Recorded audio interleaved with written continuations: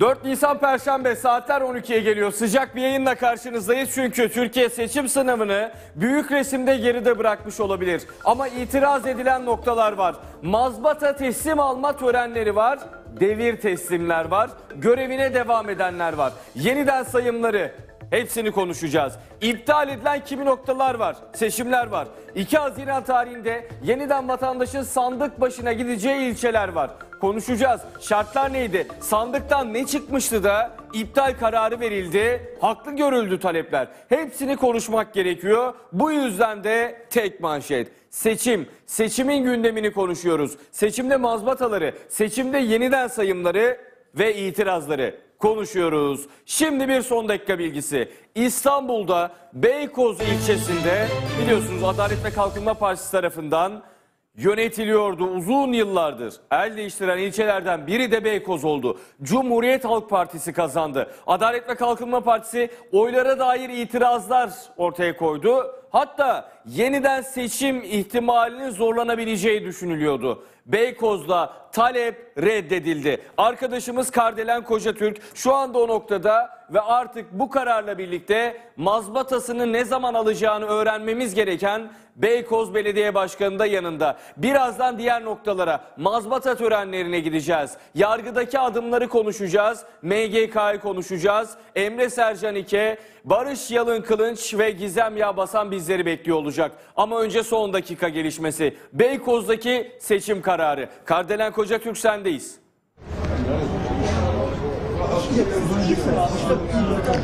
Can Coşkun dakikalar öncesinde geldi son dakika. Normalde Beykoz'da e, bugün saat 14'te oy sayım işlemi başlayacaktı yeniden.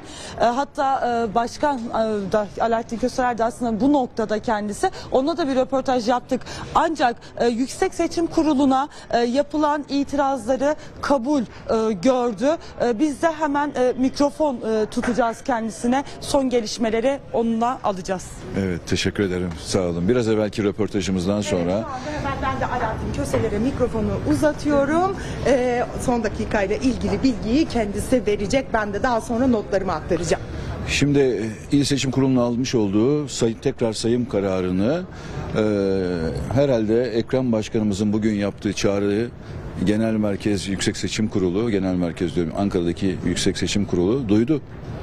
Ve Beykoz'daki tekrarlanacak olan oy sayımını yani başkanlıkta tekrarlanacak olan oy sayımını durdurdu, iptal etti ve e, mazbata verilme sürecine geç, geçildi. Beykoz. Zaman alacaksınız efendim belli mi? E, Normalde prosedür 24 saat içinde olması gerekiyor ama tabii ki e, Hakim Bey'in e, seçim kurulu başkanının kararı orada. Şimdi bir de siz e, çeşitli yolsuzluk iddialarında bulundunuz. E, belli arazilerin devriyle ilgili. E, peki onunla ilgili durum Protokol- nedir? Protokolle ilgili mesela Riva'da Elmasburnu gibi, e, Hekimbaşı'nda Spor Ormanı gibi bakanlığa devredilmesi düşünülen e, protokolün iptali e, ile ilgili çalışmalar yürütüldüğünü duyumsadık. Bunlar bir duyum. Şu anda evrak bazında bilgim yok. E, onun dışında da İller Bankası'ndan gelen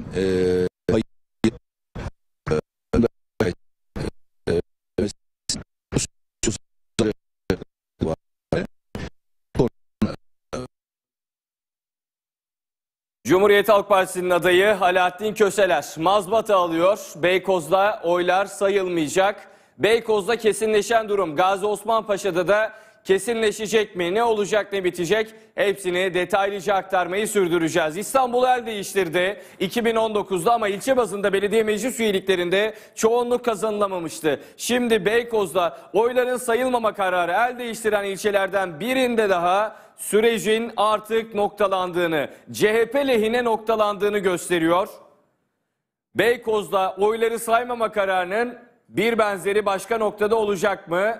Bir yandan konuşulan Gazi Osman Paşa var. Birazdan Gazi Osman Paşa'dan bağlantılarımızı gerçekleştireceğiz.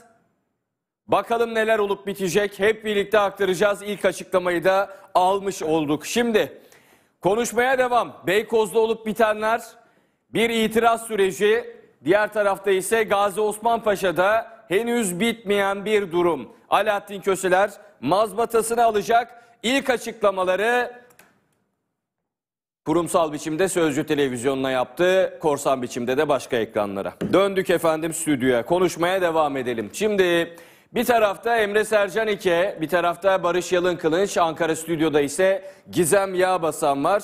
Konuşalım bakalım mazbata törenleri takibi, YSK'ya dönük itirazlar. Önce Yüksek Seçim Kurulu'na gidelim. Emre Sercan İke sendeyiz. Can Coşkun seçimler sona erdi ancak etkisi devam ediyor. Sen de belirttin. Özellikle itiraz süreçlerinin Yüksek Seçim Kurulu'na, il seçim, ilçe seçim kurullarına itirazlar e, devam ediyor. Özellikle Van Büyükşehir Belediye yarışı ile ilgili biliyorsunuz son günlerde çok konuşuluyordu. E, son olarak bugün e, YSK Başkanı Ahmet Yener bir açıklama yaptı. YSK Başkanı Van ile ilgili verilen karar bugün yazılacak açıklamasını yaptı. Bizler de burada şu anda o kararı bekliyoruz. Ama tabii öncesinde ne olmuştu isterseniz biraz bahsedelim. E, Dem Parti'nin adayı Abdullah Zeydan e, da- aday olma sürecinde Yüksek Seçim Kurulu tarafından herhangi bir e, sorun olmadığını açıklamıştı. Dolayısıyla da adaylığı ile ilgili bir itiraz da olmamıştı Yüksek Seçim Kurulu tarafından. Ancak 29 Mart'ta seçimlere 2 gün kala bir karar e, e, sa- mesai bitimine 5 dakika kala Adalet Bakanlığı'ndan idare bir karar ve yazı e, gelmişti. 2022 yılında memnu haklarını alan ve tüm yasal denetimlerden geçen Zeydan'ın memnu haklarına itiraz etmiştir. Bu açıklamanın ardından da e, belediye başkanlığını Abdullah Zeydan kazandıktan sonra mazbatasının geri alınmasına ve AK Partili adaya verilmesine yönelik bir karar e, çıkmıştı. Dol- ve bunun ardından da aslında tartışmalar başlamıştı. Ancak DEM Parti'nin itirazları üzerine karardan dönüldü. Yüksek Seçim Kurulu, Van İl Seçim Kurulu'nun e, kararının bir benzeri yönünde bugün bir karar vermesi bekleniyor. Tabii Yüksek Seçim Kurulu 4'e karşı 7 oy ile mazbatanın Zeydan'a geri verilmesine karar verdi. Kurulun Zeydan hakkında memnu haklarının iadesinin reddi kararının henüz kesinleşmediği gerekçesiyle bu kararı aldığını e, biliyoruz.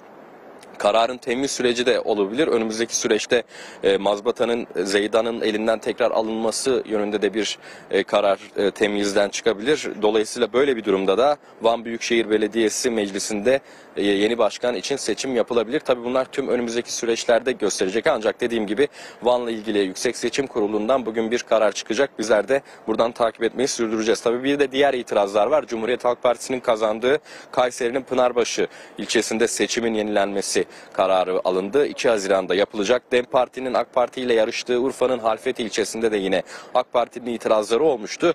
Orada da oy pusu yanan oy, e, oy pusuluları hatırlayacaksınız gündeme gelmişti. O itirazların ardından Halfeti'de de bir seçim yenileme kararı alındı. Yine sandık başında olacak seçmenler 2 Haziran'da Urfa'nın Halfeti ilçesinde.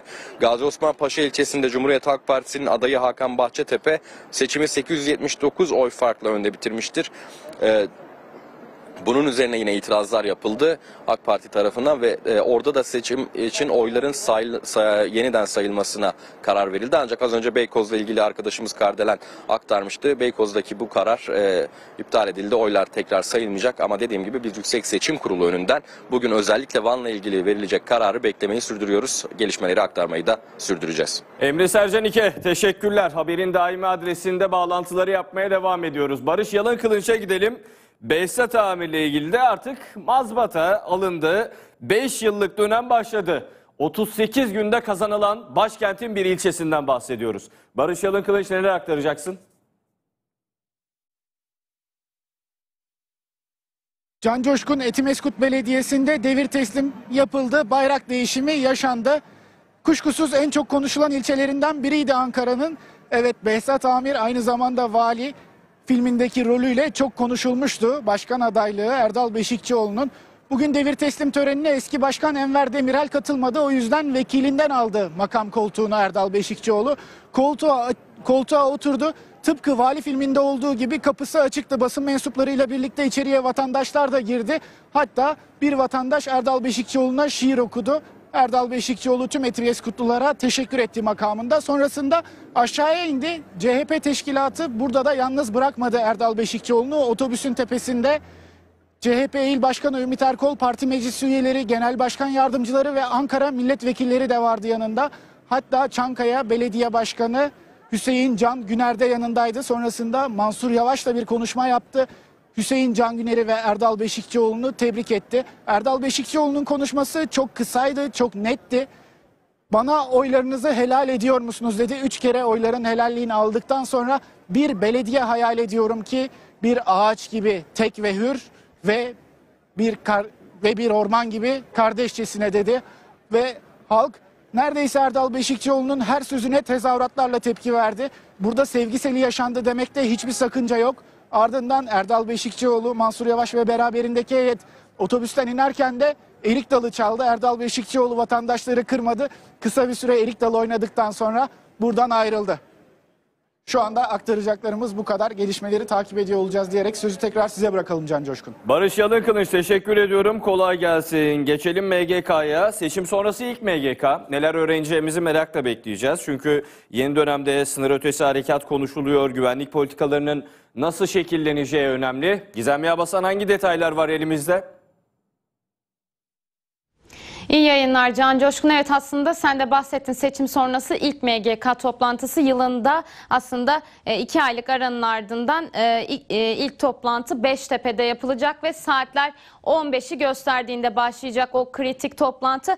Kuşkusuz aslında o toplantının ana gündemi terörle mücadele ki dün akşama gittiğimizde aslında yine Beştepe'de Cumhurbaşkanı Erdoğan iftar programında teröre ilişkin mesajlar vermişti.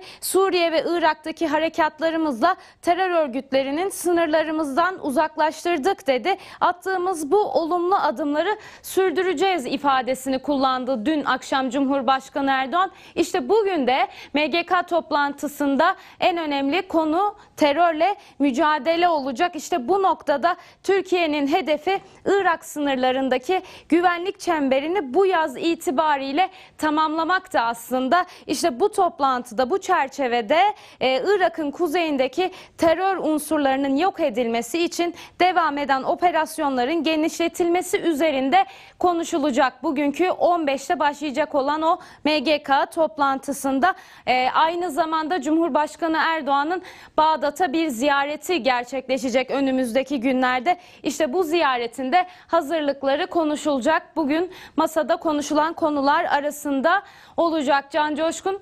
E, bir diğer konuysa Gazze olacak. Çünkü İsrail'in Gazze'ye sürdürdüğü o saldırılar yine MGK masasında konuşulan konular arasında olacak. Hem saldırıların durdurulması hem de insani yardımların e, en etkili şekilde, eksiksiz bir şekilde ulaştırılmasının sağlanması amacıyla nasıl adımlar atılabilir? Bunlar konuşulacak. Aynı zamanda bölgede yaşanan gerilimin e, daha fazla yayılmasını önlemek için yine hangi adımları atabiliriz'i konuşacaklar bugün MGK toplantısında. E, ama özetlemek gerekirse Can Coşkun dediğimiz gibi toplantının öncelikli gündemi Türkiye'nin sınır ötesindeki terörle mücadele operasyonları olacak. Aynı zamanda bölgesel ve uluslararası diğer güvenlik konuları da masaya yatırılmış olacak. 15'te toplanacak. Aslında tüm dikkatler e, Beştepe'de olacak diyelim ve sözü size bırakalım tekrar. Teşekkürler Gizem Yabasan. Kolay gelsin detaylarını aktaracağız. Döndük stüdyoya efendim. Şimdi en çok konuşulan isimlere bir gidelim mi? Biraz özel röportajlara eğilelim. Çünkü insanlar merak ediyorlar. O insanların neler söyleyeceğini, nasıl bir profilde olduklarını, hangi cümleleri kuracaklarını, ilk seçim röportajlarına imza atmayı sürdürüyoruz efendim. Üsküdar, İstanbul Üsküdar. Şimdi Cumhurbaşkanı Erdoğan ikamet ettiği adres. Değil mi? Üsküdar. Ve uzun zamandır kimde? Adalet ve Kalkınma Partisi'nde. Hilmi Türkmen yönetiyor. Cumhuriyet Halk Partisi bir sonraki, e, bir önceki seçimde 9000-9500 oy farkıyla alamamış ama Üsküdar'ın zorlanabileceğine dair bir umut belirmişti CHP tarafında. Adalet ve Kalkınma Partisi'nde de belki de bir endişe cereyan etmişti. Bu sefer şehir hatlarının genel müdürü Sinem Dedetaş tercihi yapıldı Üsküdar'da. Üsküdar'daki bu tercih anket sonuçları derken sandıktan çok net bir sonuç çıktı. Üsküdar Sinem Dedetaş benim belediye başkanım olsun dedi. Şehir Hatları Genel Müdürlüğü'ndeki performansı, tersane geçmişi, yaptıkları, bundan sonra yapacakları. Merak ediyoruz kadın belediye başkanlarında görevleri kuşkusuz çok yakından izlenecek. Onların burada ya- ortaya koydukları gerek temsiliyet mücadelesi, gerek uzun zamandır el değiştirmeyen bir noktanın el değiştirmesi, bazı ezberlerin belki de bazı kalıpların yıkılması, elbette yıkılacaktı ve yıkıldı. Şimdi bakalım nasıl bir belediye başkanlığı? İstanbul'un o merkez ilçelerinden biri, simge ilçelerinden biri, simge yerleşim birimlerinden biri demek lazım. İlçeden öte Üsküdar. Arkadaşımız Nedim Bayhan da şu anda Üsküdar'da. Yanında da Üsküdar Belediye Başkanı Sinem Dedetaş var. Sadece Sözcü Televizyonu mikrofonu var.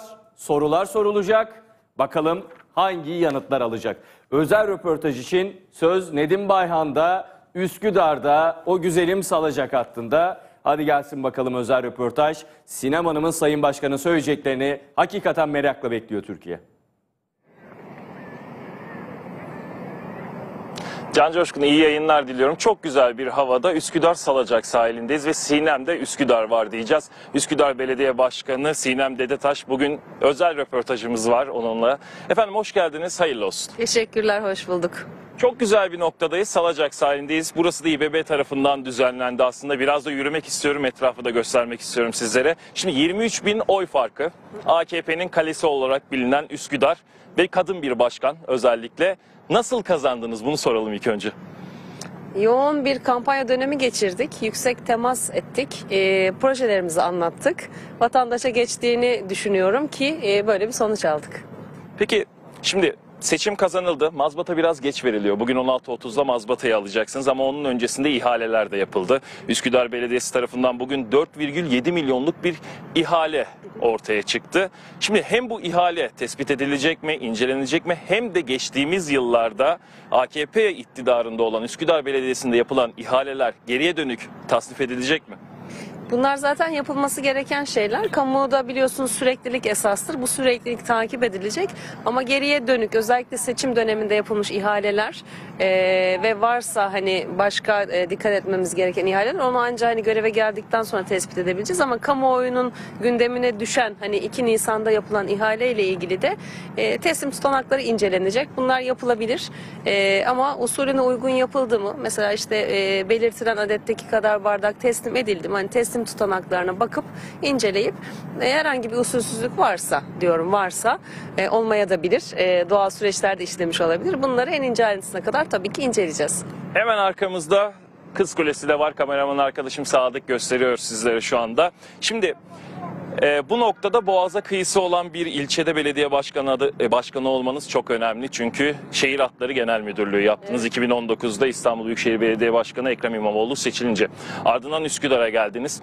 O süreç nasıl oldu? Biliyoruz ki Haliç Tersanesi'ne hem sizin hem de meslektaşlarınızın girişi yasaklandı. Çünkü orada bir AVM projesi vardı. 2019'dan 2024'e uzanan yolculuk nasıl geçti ve ilk belediye başkan adaylığı teklifi gelince ne hissettiniz? Çok yoğun geçti 2019 ve e, 1 Aralık 2023'e kadar süreç aslında. 4,5 yıl tersaneyi yani durma noktasındaydı evet biz göreve geldiğimizde. Farklı bir fonksiyonlandırma işte bilim merkezi gibi fonksiyon atanmıştı. O yüzden üretim fonksiyonu durmuştu. Tabii bu kamusal üretim çok önemli. Hem e, kaynakların verimli kullanım hem de aslında katma değer yaratma noktasında çok önemliydi. Biz bunu hayata geçirdik. Yani o tersane 4,5 yılda 400'e yakın gemi baktı. 62 tane yeni inşa yaptı. Dolayısıyla gerçekten dolu dolu bir e, tersanecilik dönemi geçti. Çok da faydalı oldu. Kamusal faydası da çok yüksek oldu. E, teklif gelmesi gibi değil de aslında be- belediye başkanlığı konusunda biz talip olduk. Ekrem Başkanımız daha önce bahsetmiştim. Bu seçim süreci gel- geldiğinde tüm e, bürokrat arkadaşlarına siyasete girmeyi düşünüyor musunuz gibi bir soru sordu. E, biz de tabii bu sorudan da cesaret alarak el kaldırdık. E, sonra süreç e, bildiğiniz gibi bütün adaylarda nasıl işliyorsa aday adaylarında o şekilde başvurumuzu yaptık. E, daha sonra süreçlere girdik. Adaylaşma gerçekleşti. Şimdi 16.30 itibariyle Üsküdar Belediyesi'ndeki mesainiz başlıyor. O koltuğa oturduktan sonra ilk adım ne olacak? Tabii şimdi meclisi toplamamız lazım biliyorsunuz 5. günde meclisi toplayacağız. Ee, komisyonlarımızın dağıtımlarını yapacağız. Daha sonra bizim e, sonraki mecliste almak istediğimiz bir karar öncelikli olarak bu emeklilere e, ayırdığımız sosyal yardım e, vaadini bir an önce yerine getirmek. Tabii malum bu yoksullukla uğraşma ama hani bununla başlayacağız ama bu bir tek proje tek başlangıç olmayacak. Afet Müdürlüğü'nü hızlıca kurmak istiyoruz. Orada da özellikle afet dirençli hep konuştuk e, kampanya boyunca. Afet dirençli Üsküdar'ı kurmaktan bahsettik. Burada ben ikiye ayırmıştım. Bir vatandaşın afet dirençli olması, bilgi anlamında, donanım anlamında. Kentin işte toplanma alanlarının belirlenmesi, bu alanlardaki ihtiyaçların oluşturulması. İki, tabii ki binaların afet dirençli hale getirmesi ve kentsel dönüşüm. Dolayısıyla bu hani müdürlük altında o stratejileri direkt belirleyerek bunlarda e, eş zamanlı yürüteceğimiz işler olacak. E, bir taraftan tabii otoparklar, parklanma, yaya yolları yani yeşil alanlar pek çok tabii e, konumuz var. Onları da e, hızlıca şey yapacağız, e, dalacağız diye mi? Şöyle hemen etrafı da biraz gösterirsek fotoğraf çekilmek isteyen çok fazla kişi var sizinle. Şunu biliyoruz adaylık sürecinizde hem size yapılan sosyal medyada editler vardı. Onları eminim ki görmüşsünüzdür. Birçok kişi de sanırım Üsküdar'da sizin belediye başkanlığınızı kazanmanızı tebrik ediyor. Şu anda da alkışlar var bu noktada. Şunu da hemen söyleyelim. Evet ciddi konulara da geri dönersek kentsel dönüşüm var, çevre konuları var, otopark sorunu var Üsküdar'da bu belli. İlk önce şuna dönelim. Şimdi Üsküdar'da rezerv yapı ilan edilen çok fazla nokta var. Nöbette olan vatandaşlarımız da var. Bu noktada deprem riski zaten kapımızda artık çalıyor. içeri dahi girdi. Üsküdar'da kentsel dönüşüm nasıl ilerleyecek? Mahalle bazlı ilerleyecek. Her birinin farklı çünkü e, sizin de bahsettiğiniz gibi konuları. E, hala hazırda şu an davalar da devam ediyor. Belediye ile vatandaşın davaları da var bu dönüşüm konularında. Biraz önce sormuştun sen ihaleler. Aslında davalar da onun bir parçası. Her biri ele alınacak. Burada vatandaşın hakkıyla ilgili bir e, problem görürsek onların e, lehine karar verecek şekilde süreçleri tekrar toparlamak için elimizden geleni yapacağız. Yeni başlayacak dönüşümlerde zaten hani imar planları şu an mecliste olan, Büyükşehir Meclisi'nde olan ve bize gelecek dört mahallemiz var. O mahallelerin binliklerini hazırlamaya başlayacağız yine eş zamanlı. E, imar planı bitmiş ve dönüşüme hazır olan mahallelerimiz var. Yavuz Türk gibi mesela. Oradan e, akıllı bir dönüşüm nasıl planlayabiliriz? Özellikle teknik çalışmalarına başlatacağız, proje çalışmalarına. Bu şekilde mahalle bazlı hızlıca her birinin ayrı ayrı planları var. Bunlar başlayacak ve biz e, mesela Acıbadem, Barbaros e, ve Altunizade mahallelerinin şu anda 5000'lik planları meclis e, Büyükşehir Meclisi'nde başladı. E, hemen seçimden önce başlamıştı. Bir yıl içinde de onların imar planları bitecek 5000'likleri ilçeye gelecek. O mahallelerimiz için de önümüzdeki yıl mesela dönüşümü planlayabileceğiz. Yani bütün mahallenin mahallelerin e, kendine özgü koşulları var. Hali hazırda başlamış yürüyen süreçleri de var. Mesela binalar başlamış teslim alınmamış. Onunla ilgili de bize e, bir takım bilgiler geldi. İşte biz protokolleri yaptık, sözleşmeleri yaptık. Hani burada şöyle giden konular var. E, kendilerince ters gittiğini düşündükleri komşularımızın konular var. Onları hani hukuk e, komisyonumuzla birlikte tabii çok detaylı bir şekilde inceleyeceğiz. Şimdiye kadar hangi yollar alındı, nerelerde eksik kalındı. O yüzden hani hem e, yürüyen davalarda hem başlamış e, süreçlerde hem de başlayacak süreçlerde hızlıca zaten aksiyon almamız lazım. Çünkü gerçekten afet konusu, deprem konusu öyle gözümüzü kapayıp ya da erteleyelim hani daha sonra planlarız diyeceğimiz bir şey değil. Hızlıca e, başlamamız gereken bir konu. Şimdi İstanbul'da yeşil alanlar çok az kaldı. Askeri alanlar, yeşil olarak görünen alanlar imara çevrildi. Lüks konutlar orada. Halk bahçesine çevrilenler oldu ve önemli noktalardan birisi Valide Bağ Korusu. Halk bahçesine çevrilmesin diye çok mücadele edildi. Sonunda kazanıldı. Halk bahçesi olmayacak. Üsküdar Belediyesi bu noktada Valide Bağ özel olarak ilgilenecek mi? Özel olarak ilgilenecek ama şöyle ilgileneceğiz. E, Valide Bağ zaten Büyükşehir'de bir çalıştay yapıldı. Orada e, gönüllüler de e, bu işin içindeydi. E, da, o dayanışmayı, mücadeleyi yapan e, bir, bireylerimiz de komşularımız da içindeydi. Hep beraberce bir çalıştay yürüttük ve orada Valide Bağ stratejik planları ortaya çıktı aslında. Biz belediye olarak bu planların bir parçası olacağız. E, koro olarak kalmasını ama gerekli bakımları da çünkü orada hep konuşuyoruz asırlık ağaçlar var. E, onların bakımlarının yapılması lazım. Yani daha yeşil e, bir koru, daha bakımlı ve sağlıklı bir koru olması için biz uğraşacağız ve hep e, kampanya sürecinde de söylediğim gibi biz masalar kuruyoruz. Yani kent konseyinin bir an önce kurulması da e, projelerimizin, vaatlerimizin içindeydi. Orada zaten bileşenlerin tamamı masada olacak ve biz bir karar verirken, adım atarken aslında oradaki akılla birlikte çünkü çok tedirginlik oluyor. Yani bundan önceki süreçlerde e, bir takım e, kaygılar oluştuğu için komşularımızda, vatandaşımızda yeni atılacak adımları bir kere çok şeffaf yürütmemiz lazım. Yani şunu planlıyoruz diye ama en üst ölçekteki planımız onun oranın koru kalması. Ama gerekli bakımları varsa daha güzel, daha yeşil bir hale nasıl dönüştürebileceğimiz ki o çalıştayın e, çıktılarında bunlar mevcuttu zaten. E, bu konuşma yapmadan önce de ben Validebağ gönüllülerine bir araya geldim kampanya sürecinde de onlarla da konuştuk. Yani siz çalıştayın çıktılarından memnun musunuz? Bu süreç ortak akılla yürüdüğünü düşünüyor musunuz diye ben hani içinde olmama rağmen İBB tarafına tekrar sordum ki bazen kırgınlıklar oluşabiliyor. Herkes hem fikirdi bu konuda.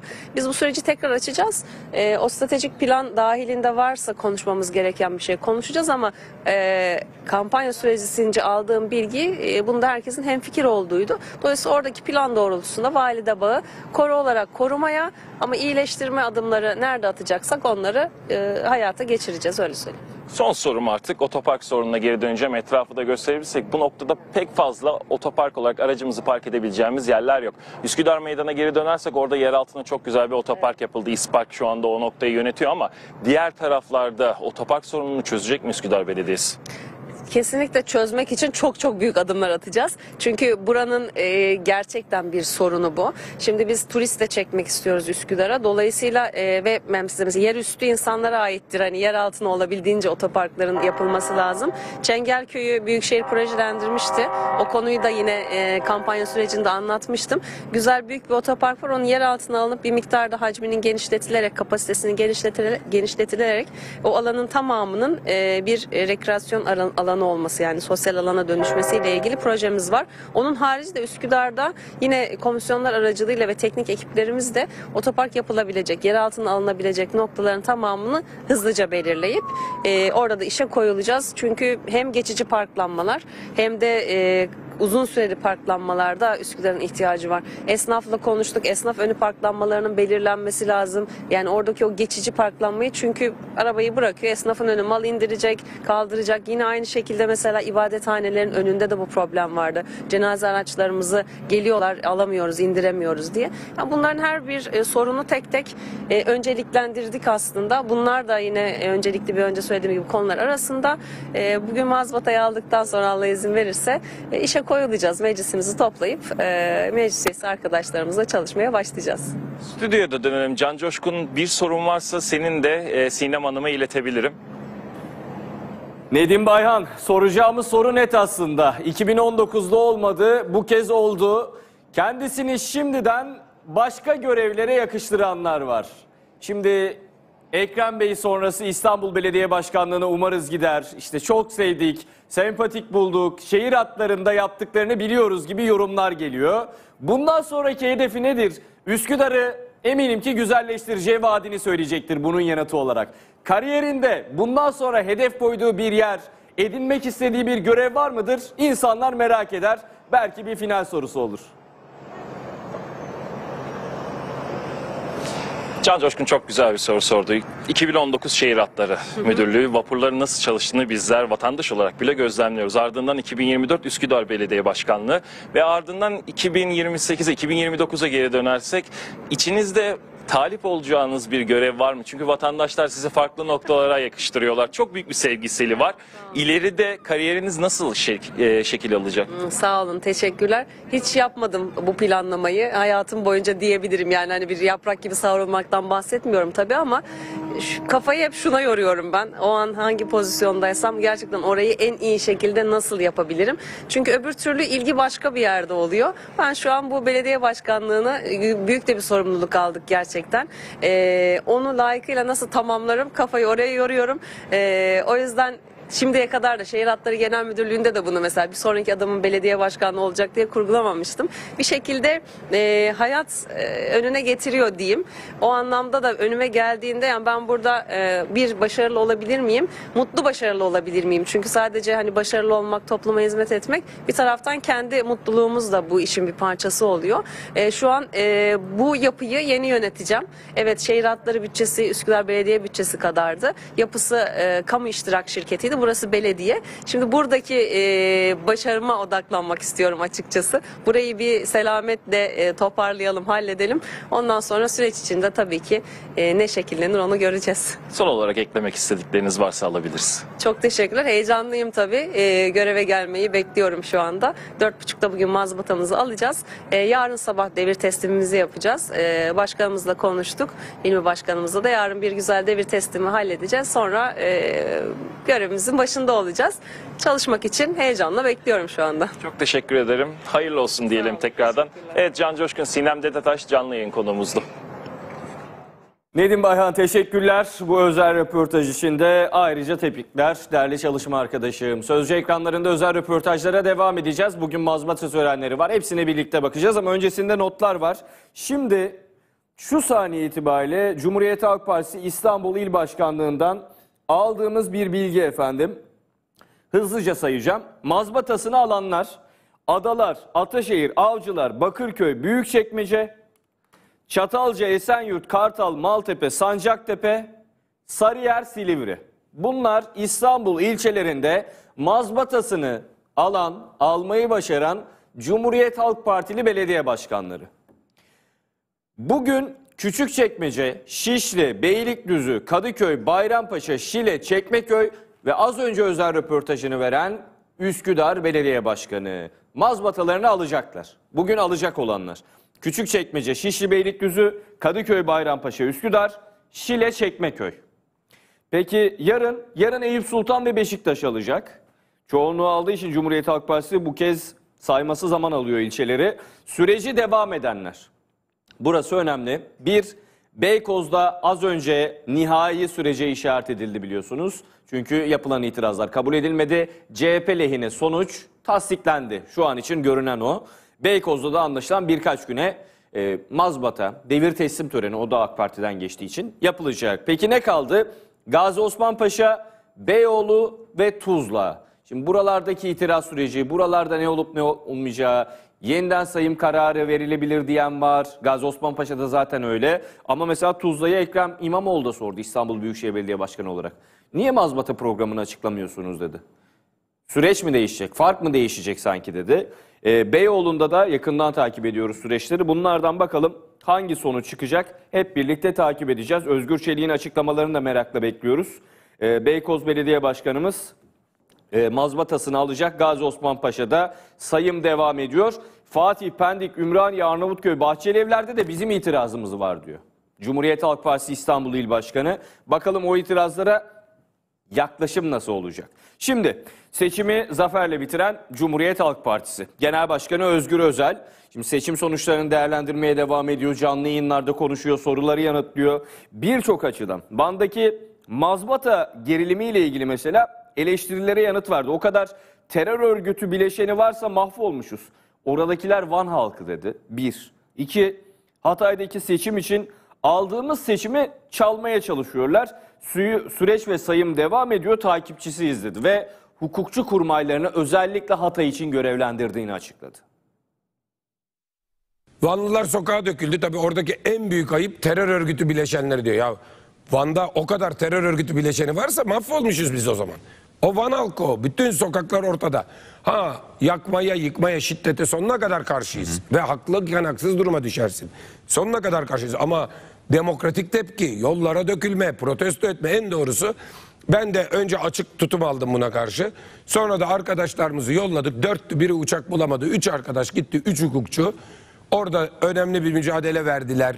Tavırlarını koydular. Yani hem dayanışma hem teknik destek vermeye gittiler. Adıyaman Besni'de itirazımıza red veriyor. Ama Pınarbaşı'nda rakibin itirazına kabul veriyor. Ha, orada öyle burada farklı. Bu, Çifte bunlar standart. Ha. çifte standart. Bunları tek tek. Bakın bir yerde verdiği karar şu. Geç, Gazi Osman Paşa'da. Geçersiz oylar aradaki farktan çok olduğu için. E böyle yüzlerce itiraz var bizim o zaman şey yaptığımız. Yani diyor ki AK Parti'yi yeneceksin, MHP'yi yeneceksin. Dönüp bir de geçersizleri yeneceksin diyor bize. Hadi onu orada sayıyor ama sayım lehimize gidiyor onu söyleyeyim. İskenderun'da fark 3900'dü. Şu anda itirazlarımızla maddi hatalar düzelterek 2700'e kadar indi. 39 bin geçersiz oy var. Fark 2700. Geçersizleri bile saymıyor. Yani böyle Hatay'da seçim çalınıyor. Kim çalıyor? Vali eliyle devlete talimat veren hükümet çaldırıyor seçimi. Vali, vali. Hatay takip edilecek. Hatay Atatürk'ün kişisel meselesi olduğu için benim de kişisel meselem. Cumhuriyet Halk Partisi'nin hepsinin kişisel meselesi. Aldığımız seçimi çalmaya çalışıyorlar. Büyük bir mücadele veriyoruz. Peki İstanbul şimdi ne dendi? Genel seçim havasında geçiyor. Cumhurbaşkanı, 17 bakan, eski bakanın aday olması, çoklu aday yapısı, muhalefetin her temsilcisinin yarışması, uzun o zarfa zorlukla tıkıştırdığımız diyeceğim artık oy pusulası. Şimdi o oy pusulası dakikalar aldı, uzun sıralar oldu. Katılımı da gösteriyordu elbette. Birçok yerde katılım düştü. Doğru. Adalet ve Kalkınma Partisi seçmeninden de, CHP seçmeninden de e, gitmeyenler olduğu söyleniyordu ama buna karşın o pusula telaşesi bile uzun sıralara neden olmuştu. İstanbul Büyükşehir Belediye Başkanı Ekrem İmamoğlu. Yani bu parçalı aday yapısına karşı da kazanırsa artık diye başlayan yorumlar vardı hatırlıyorsunuz. Kazandı. Şimdi İstanbul Büyükşehir Belediye Başkanı Ekrem İmamoğlu açık farkla kazandıktan sonra itiraz süreçlerine değindiği bir açıklama yaptı. Gazi Osman Paşa ve Beykoz'da verilen tekrar sayım kararlarına tepki gösterdi. Ama bu açıklamayı yaptığı dakikalarda Beykoz'da iş nihayete ermemişti. Beykoz'da iş bitmiş görünüyor şu anda. CHP lehine tamamlandı çünkü itirazlar, son itirazlar reddedildi. Ama Gazi Osman Paşa'da devam ediyor. Oyların hepsi yeniden sayılıyor şu anda. Ucu ucuna kaybettiğimiz Fatih ve Arnavutköy'de de taleplerimiz var. Adalet ve Kalkınma Partisi ile aynı talepleri ortaya koyuyoruz biz. AK Parti'nin talepleri kabul ediliyor. Başka yerde onlar kazandığı için biz itiraz ettiğimiz için talep ortaya konmuyor. Bu talep işleme alınmıyor, reddediliyor, cevap verilmiyor dedi. Şikayetlerini dile getirdi ama ne yaparlarsa yapsınlar değişmeyecek. Manzara net dedi. Seçim gecesi söylenenlerin tersine Van'da gereksiz bir gerilimle hak gaspı çabalarına girildiğini üzülerek gördük. Ne mutlu ki Yüksek Seçim Kurulu görevini yaptı. Teşekkür ederiz. Hukuk ve demokrasi dışı gidişata son vererek yanlıştan dönülmesini sağlamıştır. Ancak ülkenin pek çok seçim çevresinde olduğu gibi İstanbul'da da benzeri arayışlar devam ediyor. Dün bir yandan mazbata veriliyor, diğer yandan bir kısım çifte standart uygulamalarının yenileri sergileniyor. Üzülerek görüyorum ki kumpaslarla millet iradesini gasp etme gayretleri ortaya konuyor ve devam ediyor.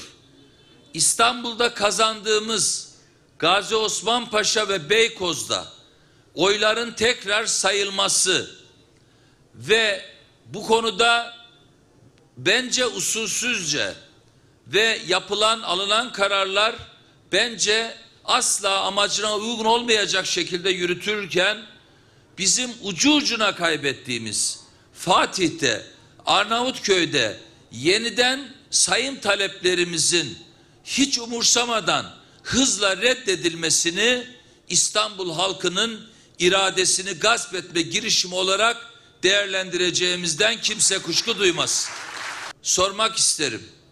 Bakın örneğin açık farkla kazandığımız Tuzla'da mazbatayı benim genç yol arkadaşım ve başarılı olacağına çok inandığım Eren Ali Bingöl'e niçin vermiyorsunuz?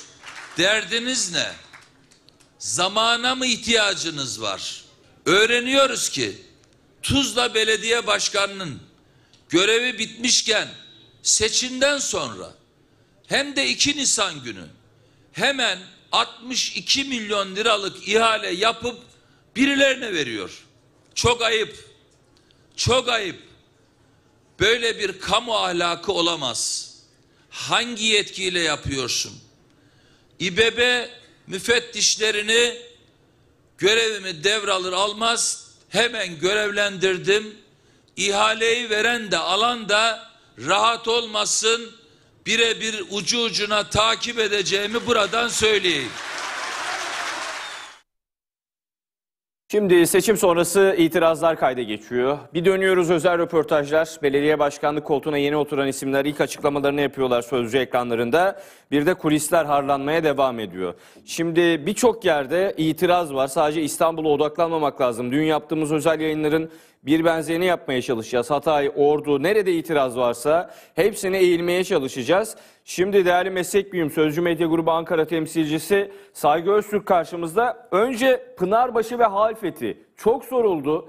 E, onlara dair gelişmeler var. Hızlıca onu alacağız. Bir de İyi Parti'nin kongreye gidişatı, arka planda neler olup bitti. Hızlıca bağlantımızı yapalım, başkente dönelim. Saygı Öztürk selamlar. Hoş geldin diyerek önce Halfeti ve Pınarbaşı diyeyim. Arkasına diliyorum. İyi Parti'yi merak ediyoruz elbette. Tamam. Can biliyorsunuz e, Pınarbaşı Kayserimize, Kayseri ilimize bağlı bir ilçe ve rahmetli Alparslan Türkeş'in de doğum yeri. Bu yönüyle baktığımız zaman MHP açısından da önemli bir ilçe. Yani bir e, manevi değeri olan da bir bölge olduğunu hatırlatalım. Bu seçimde CHP'nin adayı Deniz Yağan seçimi kazandı. 319 oy farkıyla.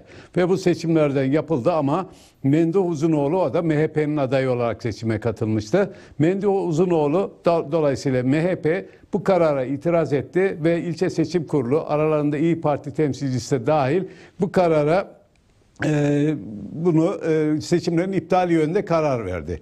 Bugün saat 13.30'da da e, aralarında CHP'nin genel başkan yardımcılarında bulunduğu, bazı milletvekillerinde bulunduğu heyet e, Kayseri'deki bu e, il seçim kuruluna yapılacak itiraz sırasında orada bulunacak ve bunun için de e, şu anda Kayseri Adliyesi'nin yanında beklemektedirler. Onu e, belirtmiş olalım. Peki. Ve burada şu e, muhtemelen e, bir karar çıkacak ve bu kararın nasıl olacağı son derece önemli. İddia şu, işte seçim kurullarına götürülen e, oy pusulalarının, oy pusulalarının bulunduğu torbaların mühürsüz olduğu iddiası var ve bununla ilgili e, hakikaten çok büyük itirazlar ve hakime de bu arada bir milletvekilinin hakime küfrettiğine ilişkinde ses kayıtları ortalıkta dolaşıyor. Evet. Bunlar e, tabii ki rahatsız edici bir olaylar. Çünkü ortalığı böyle e, kırıp dökmek hiç yakışmıyor. Yani bir seçim sonuçları ile ilgili değerlendirmeler açısından bunu ifade etmek istiyorum. Yani 13.30'da Kayseri Adliyesi'nin e, seçim kurulunun hareketli olacağını söyleyelim. İkincisi e, Halfeti ilçesi. Halfeti ilçesi e, terörist başı Abdullah Öcalan'ın doğum yeri ve bugün de üstelik bugün de e, onun doğum e, günü olduğunu hatırlatmış olalım. 4 e, 4 Nisan doğum günü. Onu belirttikten sonra Halfeti ilçesinde Şeref Albayrak AKP'nin e, belediye başkan adayıydı. Seçimi kaybetti. Seçimi Dem Parti e, adayı Mehmet e, Karayılan kazandı. E, Şeref Albayrak yani AKP'nin adayı Özmüş, e, Hilal ve e, Kavaklı Kavaklıca köylerindeki seçim sonuçlarının e, seçimlerde kullanılan oyların bir bölümünün yakıldığını iddia ed- edip seçim kuruluna başvurdu. Ancak seçim kurulu bu başvuru reddetti. Bugün de saat 3'te e, Şanlıurfa İl Seçim Kurulu bu yönde yani daha önce baş, yapılan başvuruyu reddedilmesine rağmen bu kez de İl Seçim Kurulu'na konu götürülecek ve İl Seçim Kurulu'nda bugün saat 13'te karar vereceğini de belirtmiş olalım. İkincisi ve e, belki de şu anda e, gündem olacak önemli konularımızdan birisi de İyi Parti'deki gelişmeler. Biliyorsunuz İyi Parti'nin seçimde umduğu başarıyı elde edememesi hatta önemli ölçüde bir başarısızlıkın sonucu partinin e, öncelikle şunu söyleyelim yerel yönetimlerden sorumlu genel başkanı Burak Akburak istifa etti. Aynı gün teşkilat başkanı İstanbul'da aynı zamanda belediye başkan adayı e, Buğra Kavuncu'nun istifası geldi. Dün ben Buğra Kavuncu ile konuştum. Milletvekili olarak bundan sonra e, görevimi yapmaya devam edeceğim. E, partiden herhangi bir ayrılması falan şu anda söz konusu değil. Kongrede nasıl bir karar alınır bunları bilemeyeceğini ifade etti. Ancak şunu söyle, şunu öğreniyoruz. Yarın saat 14'te yani Cuma günü saat 14'te İyi Parti Genel Merkezi'nin ek binasında İyi Parti'nin milletvekilleri ve divan üyeleri yani genel başkan yardımcılarının e, katılacağı bir toplantı yapılacak. Bu toplantıda olağanüstü kongre e, süreci ve bunun yanı sıra seçimlerdeki e, oy oranının neden düşük olduğuna ilişkin değerlendirmeler yapılacak ve muhtemelen kongrede Mayıs ayı sonlarına doğru yani arada yaklaşık bir 45 günlük bir e, süre e, geçmesi gerekiyor e, yasal işlemlerin yapılması için. Bu süreç içerisinde de kongre tarihi de belirlenecek. Tabii kongrede şu önemli İyi Parti'nin şu anda genel başkanı Meral Akşener'in aday olup olmayacağı, yine parti yönetiminde bugün bulunan bazı isimlerin partilerinde kalıp kalmayacağı da en çok merak edilen konular arasında olduğunu da eklemek istiyorum. Peki başka adaylarda görecek miyiz? Merakla takip ettiğimiz bir süreç olacak. Özel bilgileri aldık. Saygı Öztürk'ten çok teşekkür ediyorum değerli meslek büyüme. Başkente selamlar. Döndük efendim stüdyoya. Gündemde neresi var? Van. Dün nihayete eren bir sonuç var. Dün özel yayınlar yaptık. Protestolar, yürüyüşler, resmi açıklamalar, beyanlar, iddialar gırlaydı. Ama sonuçta bir nihai karar verildi. İşte detaylar.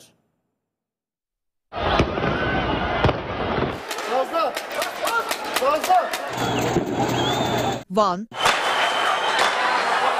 Batman, Hakkari ve Siirt. Van'daki mazbata gerginliği 5 ile birden sıçradı. Van ve Bitlis'te 15 gün süreyle yürüyüşler yasaklandı. Kimi protesto, kimi de ortalığı ateşe vermek için sokaktaydı. Çok sayıda kişi gözaltına alındı. Protestolar ve itirazlar karşılık buldu.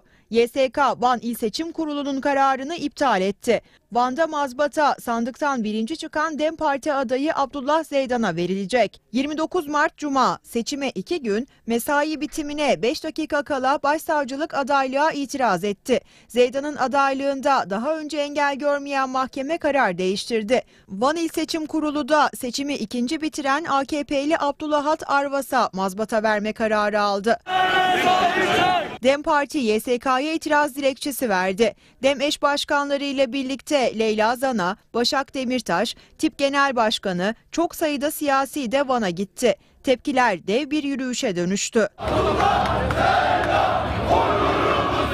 DEM partililerin CHP heyetini karşıladığı Keskvan Şubesi binası önünde bekleyenlere polis müdahalesi oldu.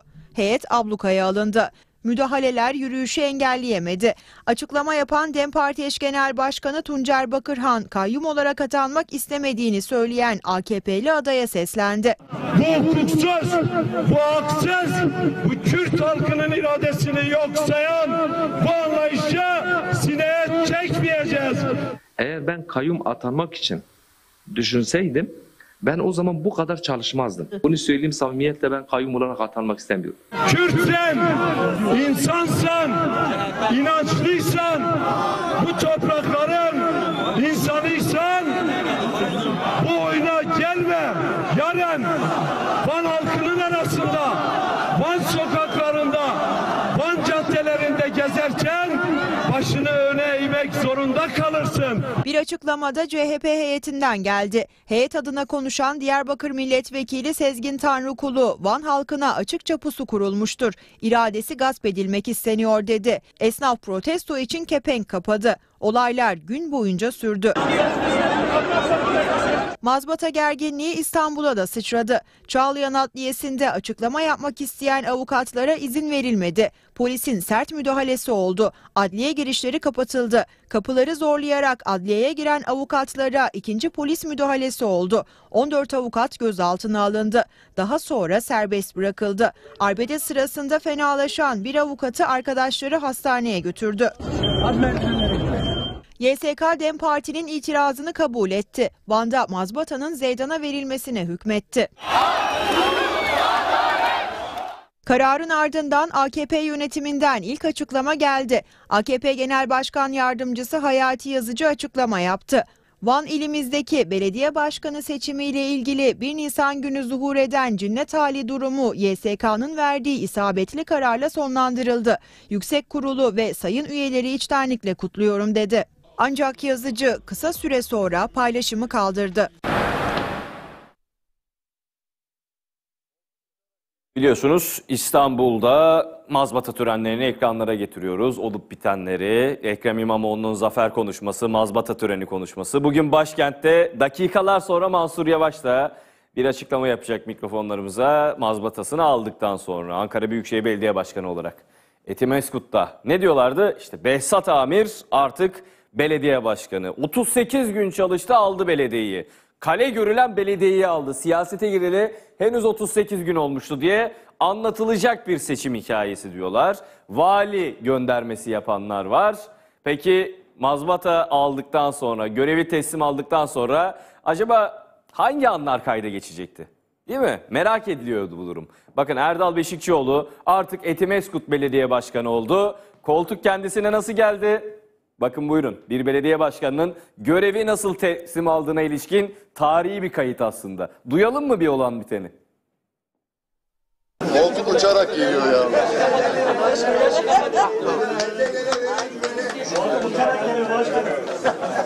Vatandaş koltuğu da getirdi evet.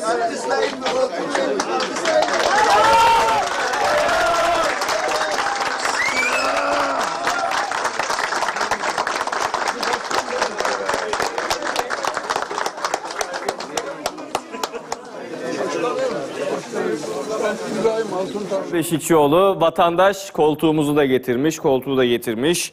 O verdi. Buyur otur diye. Emanetidir dedi. Erdal Beşikçioğlu. Şimdi tartışmalı yerler dışında tüm belediye başkanları mazbatalarını aldı. Kimi yerleri az önce saydık. Birazdan tekrar canlı bağlantı yapacağız. Oy sayımlarını. Günler sürse de başında izliyor ya vatandaş verdiği oya sahip çıkmak için. Haberciler olarak bizler de kayıttayız efendim. Canlı yayında belgelemeye devam edeceğiz her noktayı. Şimdi kimi yıllardır hasretti mazbataya, belediye başkanlığına, seçim zaferine. Kimi partisinin tek belediye başkanı. Şöyle bir mazbata turu atalım hadi. Bu bölümünde final haberi olsun. Belediye başkanları mazbatalarına kavuştu. En az seçim kadar heyecanlı anlar yaşandı. Seçim boyunca hiç heyecanlanmadım. Seçim gecesi heyecanlanmadım ama ilk defa çok heyecanlıyım. %57 oyla Manisa Büyükşehir Belediye Başkanı seçilen CHP'li Ferdi Zeyrek Manisa Adalet Sarayı'nda mazbatasını aldı. Bu 74 yıllık bir hayaldi dedi. Ve altı oklu bayrağın orada sallanması hepimizin gururudur.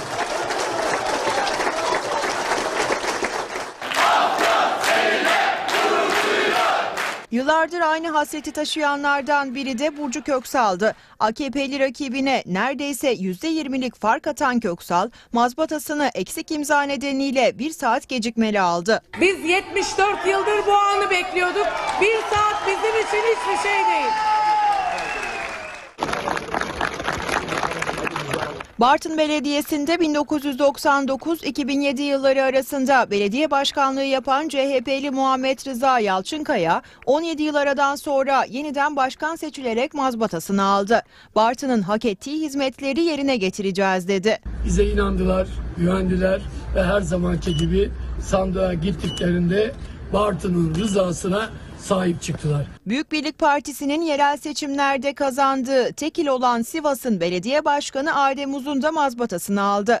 Devir teslimdeki belediye çalışanlarının sözleşmelerinin feshedilmesiyle ilgili de rahat olsunlar, iş yerine devam etsinler dedi. Kesinlikle çiçek gönderilmesini istemiyoruz. Ben bir gazi çocuğuyum. Babam Kıbrıs gazisi. Çiçeklerin Sivas Şehit Aileleri ve Gaziler Derneği'ne bağışlanmasını istedik. Bir diğer nokta son bir gündür özellikle Şimdi hadi kısa bir araya gidelim. Çünkü Aslı Kurtuluş Mutlu adım adım takipte. Kimi? Ankara Büyükşehir Belediye Başkanı Mansur Yavaş'ı. Yola çıkmış. Geliyormuş. Açıklama da yapacak. Mazbatasını aldıktan sonra. ikinci dönem rekor oyla. İstanbul'u her yönüyle aktardık. Sıra Ankara'da, sıra devam eden Gazi Osman Paşa oy sayımında. Ordu'da, Hatay'da. Özel bir yayın bizleri bekliyor. Birkaç dakikalık ufacık bir ara sonra devam.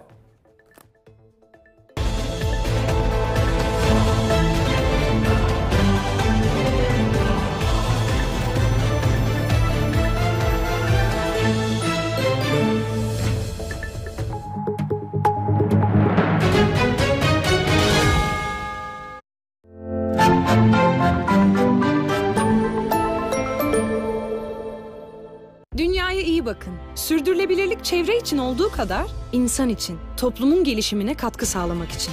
Akbank tam da bu sebeple sürdürülebilir yarınlar için çalışıyor. Eğitimden gönüllülüğe, yatırımdan girişime, hayatın her alanında toplumsal kalkınmayı destekliyor. İnsan için, hepimiz için.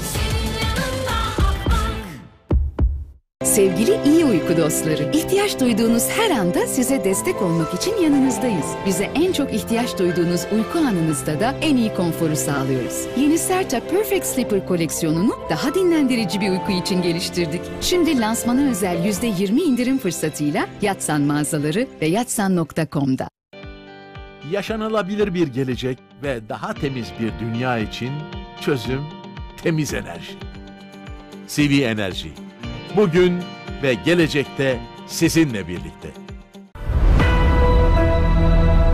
Umudun yeni adı Bahçıvan Abdullah Ağa'nın torunu Özgür Özel. Nerede doğdu? Çocukluğu nasıl geçti? Eşiyle nasıl tanıştı? Siyasete neden atıldı? 2014'teki Soma faciası siyasi hayatına nasıl yön verdi? 15 Temmuz'daki hain kalkışmada demokrasiyi nasıl savundu? Bir eczacı ülkeye umut ve değişim ilacını nasıl verdi? 47 yıl sonra CHP'yi Türkiye'de birinci parti yapan Özgür Özel'in başarılarla dolu hayat öyküsü. 3 günlük yazı dizisi Sözcü'de. Kaçırmayın.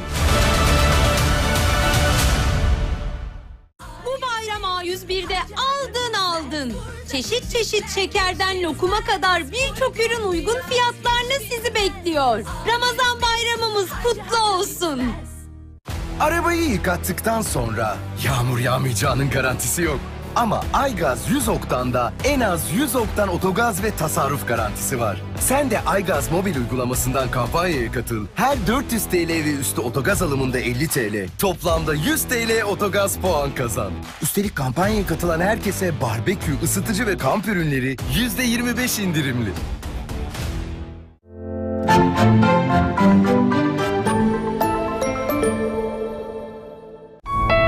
Rising Pergola ve Tente Sistemleri hava durumunu sunar.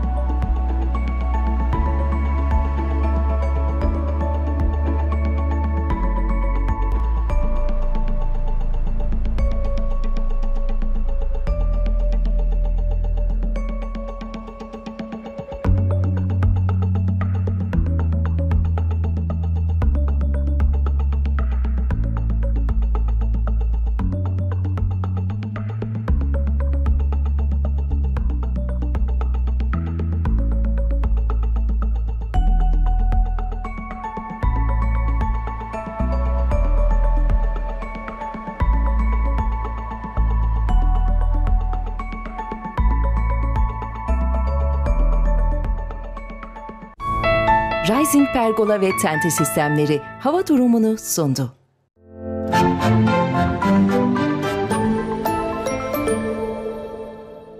Vodafone Business IoT çözümleriyle işleriniz sizin kontrolünüzde. Red Enerji ile %30'a varan elektrik tasarrufu sağlayabilirsiniz. Akıllı fabrikayla da makine duruş sürelerini ve sebeplerini anlık takip edebilir, üretim performansınızı artırabilirsiniz. Araç takip sistemi ile filonuzun konumunu ve rotasını kolayca takip edebilirsiniz. IoT çözümlerimizle üretim sektöründe verimliliğinizi artırın, maliyetleri azaltın.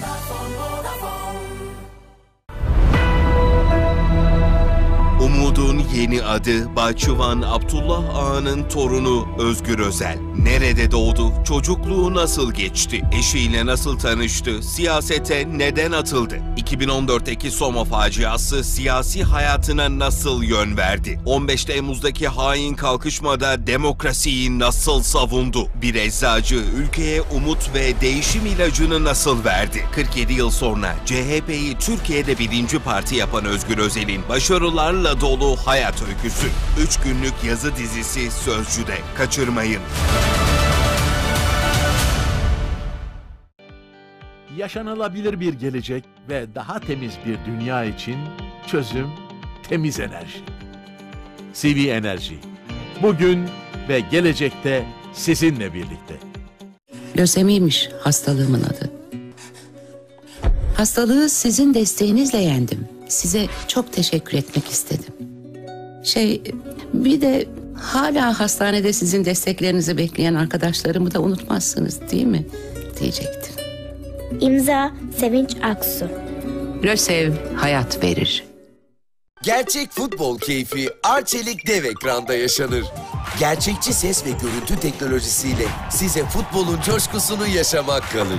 Üstelik şimdi tüm Arçelik 75 inç ve üzeri televizyon alışverişlerinizde bir yıllık Dijitürk taraftar paketi hediye. Detaylar Arçelik.com.tr ve Arçelik mağazalarında. Milli futbol takımları ana sponsor ve sürdürülebilirlik ortağı Arçelik, milli takıma başarılar diler.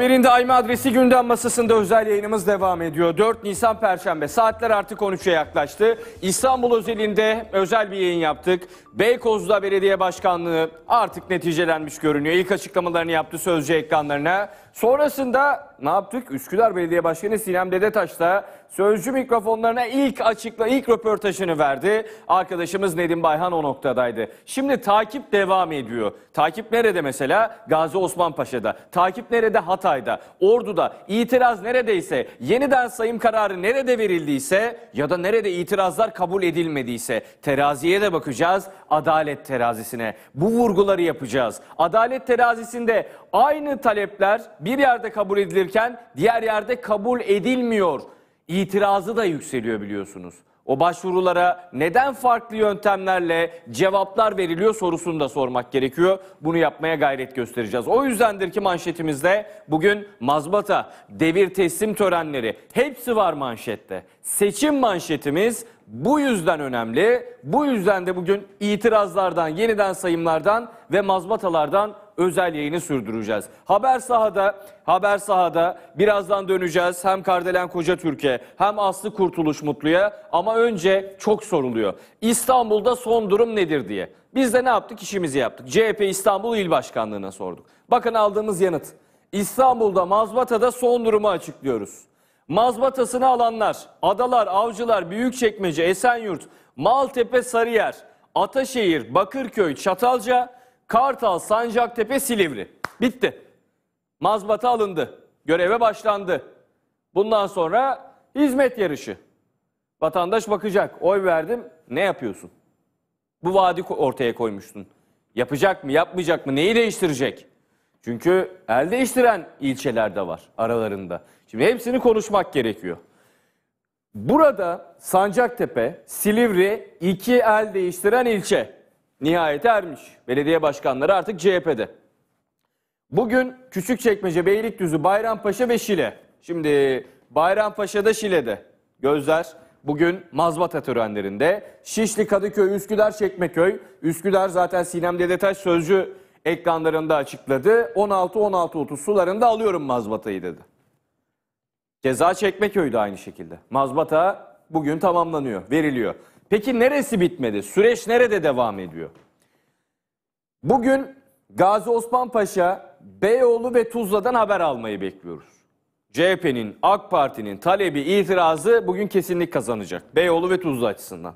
Gazi Osman Paşa'da oylar yeniden sayılıyor zaten.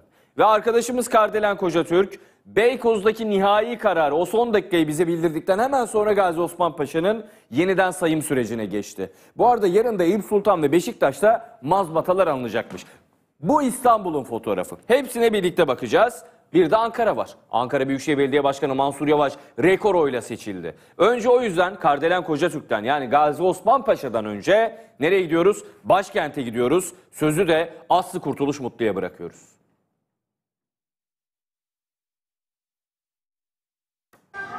Evet Can Coşkun şu anda Ankara İl Seçim Kurulu'ndayız ve Ankara Büyükşehir Belediye Başkanı Mansur Yavaş ikinci bir dönem için ikinci bir beş yıl başkenti yönetmek için mazbatasını alacak. Artık bir dakika içerisinde burada olmasını bekliyoruz. Basın ekibi de e, buraya geldi. Mansur Yavaş e, kalabalık bir şekilde gelecek. En azından bizim aldığımız bilgi o yönde. E, tıpkı seçim günde yalnız bırakılmadığı gibi e, bugün de ailesi, e, kızları, eşi, e, kayınvalidesi yanında olacak ve içeriye girecek. E, şu anda da Can Coşkun e, Mansur Yavaş girişini yapıyor. Aracı geldi. Aracından inecek. Hemen bu noktaya geldiğinde kameraman arkadaşım Onurcan Kankal da sizlere o görüntüyü verecek. Mansur Yavaş şu anda e, evet şu anda aracından indi ve eşinin ve yakınlarının da araçtan inmesini e, bekliyor. Burada bir koridor oluşturuldu kendisi için. O koridordan geçerek de e, içeriye girecek. Şu an e, eşini görüyorum yanında kayınvalidesini görüyorum. Araçtan henüz yeni indi. Onurcan Kankal size görüntülüyor. Ankara Büyükşehir Belediye Başkanı Mansur Yavaş il Merkez Seçim Kurulu'na şu anda eşiyle birlikte giriş yaptı. E, Cumhuriyet Halk Partisi Ankara İl Başkanı Ümit Erkol kendilerini karşıladı. Şu anda içeriye doğru da giriliyor. E, birkaç aracın daha burada olduğunu e, söyleyelim. İçeriden mazbatasını teslim alacak Ankara'yı bir 5 yıl daha yönetmek için ardından Mansur Yavaş yine devam edecek. Özellikle ilçelerle ilgili çok fazla çağrısı olmuştu. Gölbaşı, Kahramankazan, e, Keçiören gibi. İşte onlarda da bugün yine e, diğer ilçelerde belediye başkanlık devir teslim mazbata alımında bulunacak Mansur Yavaş. Yarın da tüm ilçe belediye başkanlarıyla birlikte o e, Ankara il yönetimiyle birlikte Anıtkabir'e atanın huzuruna çıkacak Mansur Yavaş. Arkamızda bir kürsü bulunuyor Can. İlerleyen dakikalarda Mansur Yavaş mazbatasını aldıktan sonra mazbatasıyla birlikte yeni dönemin ilk mesajlarını verecek diyelim. Sözü size bırakalım. Teşekkürler Aslı Kurtuluş Mutlu. Kolay gelsin. İçeriden görüntü geldikçe aktaracağız. Çıkışta da Aslı Kurtuluş Mutlu'da dahil olmak üzere meslektaşlarımız mikrofonlarını uzatacaklar. Sorularımızı soracağız. Bakalım Mansur Yavaş'ın mazbata sonrası ikinci dönemine ilişkin ilk ifadeleri ne olacak? Bugün resmen ikinci dönem başlıyor. Kolaylıklar. Döndük stüdyoya efendim. Şimdi Kardinal Koca Türk'ten mesaj var. Gazi Osman Paşa'da e, birazdan orayı takip eden hukukçular özellikle de CHP cephesinden e, bir açıklama gelebileceği ihtimali var. Hazırlıklar sürüyor orada. Hazır olunca döneceğiz. Gazi Osman Paşa'daki ayrıntılara bakacağız. Çünkü orada hareketlilik sürüyor. Yeniden sayım devam ediyor. Günler sürse de buradayız dedi dün mesela CHP İstanbul İl Başkanı Özgür Çelik. El değiştiren ilçelerden biri. Son saatlerde belli oldu Gazi Osman Paşa'da işin rengi. Oranın da kırmızı rengi bürünmesi haritada. Dolayısıyla oy farkı üzerinden anlaşılan kimi itirazlar AK Parti cephesinden kayda geçiyor. O taraftan da bir açıklama, resmi açıklama geldiği takdirde ekranlara yansıtacağız elbette. Cumhurbaşkanı Erdoğan, şimdi miting meydanlarındaki kalabalıktan genel itibariyle memnundu. Birkaç yerde biliyorsunuz şikayetin dile getirdi. Ya bu meydan ne sayılar gördü dedi kimi yerde. Ama sandıktan çıkan sonuç mutlu etmedi. Üstelik paylaşılan meydan hesabında ortaya konan verilerle de tutmadı. İşte kimi yerde 50 bin denildi meydandaki kalabalık. Oradan 50 bin oyu bırakın 14-15 bin oy aldı AK Parti. Şimdi bunlar hep dikkat çekici. Sivas, Yozgat, Ağrı. Adalet ve Kalkınma Partisi miting meydanında çok çok altında oy almış görünüyor buralarda. Birazdan bu özel hesabı sizlere getireceğiz. Ama bir virgül çünkü bakın canlı yayın görüntüleri nereden geldi? Ekranlara getirelim Ankara'dan. Özel görüntüler efendim. Ankara Büyükşehir Belediye Başkanı Mansur Yavaş bir de açıklama yapıyor. Duyalım mı? Amin. Amin. Amin. Amin. Sağ olun. Ankara'mıza, ülkemize hayırlı olsun. Mazbatamızı hazırladık. Tamam Hakim Bey. İstiyorsanız e, arzu ederseniz bir şey içmek isterseniz. Yok. Ankara'da ikinci Mansur Yavaş dönemi bugün resmen başlıyor. Bir kısa girizgah, sohbet ve an itibariyle Ankara İl Seçim Kurulu'nda Mansur Yavaş'ın rekor oyla kazandığı ikinci seçim bu. 2019'da kazanmıştı. İkinci seçimi de farkı epey arttırarak kazandı. Mansur Yavaş'ın ikinci dönemi başkent Ankara'da. Bu da mazbatasıyla vermiş olduğu ilk kare, ilk fotoğraf. Mansur Yavaş mahalli idareler seçiminde Türkiye Cumhuriyeti'nin başkenti Ankara'da ikinci kez seçimi kazandı ve kendi adına da Cumhuriyet Halk Partisi adına da üst üste ikinci dönemi getirdi. Önceki gün İstanbul Büyükşehir Belediye Başkanı Ekrem İmamoğlu ikinci kez kazandığı İstanbul'da, mega kent İstanbul'da mazbatasını alarak göreve başlamıştı. Şimdi Ekrem İmamoğlu İstanbul'da Saraçhane'de tören düzenleyerek ikinci dönemini ilan etti. Yaklaşık bir buçuk saat kadar sonra gözümüzü İstanbul'dan Ankara'ya çevirdik. Başkentte Belediye Başkanı Mansur Yavaş ve mazbatası ikinci dönem resmen başlıyor. Mansur Yavaş mazbatasını aldı. Birazdan mazbata ile birlikte çıkacak. İl Seçim Kurulu önünde ikinci döneminin ilk işaretlerini vereceği bir açıklama yapacak elbette. Fotoğraf verildi, sohbetler edildi. Artık gözümüz kulağımız kapının önüne yeniden Aslı Kurtuluş Mutlu'ya çevrilecek. Dışarıda mikrofonlar uzatılacak. Hatıra fotoğrafı da çekiliyor ailesiyle birlikte Mansur Yavaş'ın seçim döneminin en çok merak edilen iki noktasıydı biliyorsunuz.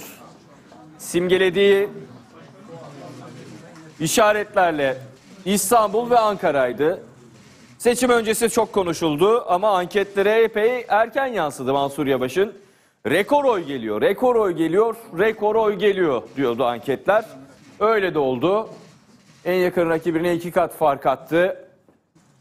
Ankara Büyükşehir Belediye Başkanı Mansur Yavaş 2019'daki seçim zaferini katlayarak bir kez daha edinmiş oldu. Mansur Yavaş mazbatasını aldıktan sonra şimdi kameraların karşısına geçecek. Kapının önünde, il seçim kurulu önünde meslektaşlarımız da orada mikrofon uzatacaklar.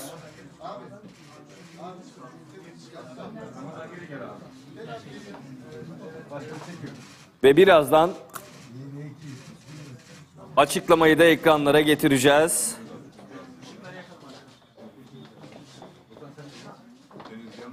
Dışarıda arkadaşlarımız hazırlıkları tamamladıklarını ifade ediyorlar. Birkaç dakika sonra başkent Ankara'da ikinci dönemin ilk cümleleri Ankara Büyükşehir Belediye Başkanı Mansur Yavaş tarafından kurulacak. Dün yaptığımız İstanbul özelindeki yayın, o özel yayın, mazbata, devamında Ekrem İmamoğlu açıklamaları, özel röportajı bugün Ankara Büyükşehir Belediye Başkanı Mansur Yavaş başkentte yapacak. O açıklamayı Ankara İl Başkanı, Cumhuriyet Halk Partisi ve örgütü temsilcileri, kurmayları oradalar. Hatıra fotoğrafı çektiriliyor. İl Seçim Kurulu'nda şimdi açıklamaya ilişkin detaylar paylaşıldı. Kısa süre içerisinde İl Seçim Kurulu'nda Seçim Kurulu Başkanlık makamından ayrılacak Mansur Yavaş. Ankara'da ikinci Yavaş dönemi resmen başladı artık mazbata takdiminin ardından. Bakalım kayda geçen bu anlar. Kayda geçen bu anlar birazdan şekillenecek, cümlelere işaret edecek. Ekranın sağ tarafına değerli rejimiz ekranlara getirdi. Meslektaşlarımız mikrofon düzenini yapmaktalar. Aslı Kurtuluş Mutlu da o noktada sorularını soracak. Ankara Büyükşehir Belediye Başkanı Mansur Yavaş ilk açıklamalarını yapacak. İkinci dönemi ilan eden sözler. Bakalım hangi mesajlar yükselecek? İkinci Mansur Yavaş dönemini simgeleyen cümleler duymamız olası.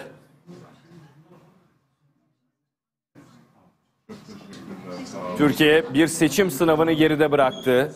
Haritanın çok büyük oranda değiştiği, ülkenin birinci partisinin değiştiği, başkentte ve İstanbul'da belediye meclis çoğunluklarını ezici bir üstünlükle Cumhuriyet Halk Partisi'nin aldığı ve Türkiye genelinde birinci parti olduğu seçim süreci sona ererken artık mazbata törenlerine şahitlik ediyoruz. Eşi, iki kızı, iki torunu, damatları, kayınvalidesiyle birlikte mazbatayı aldı.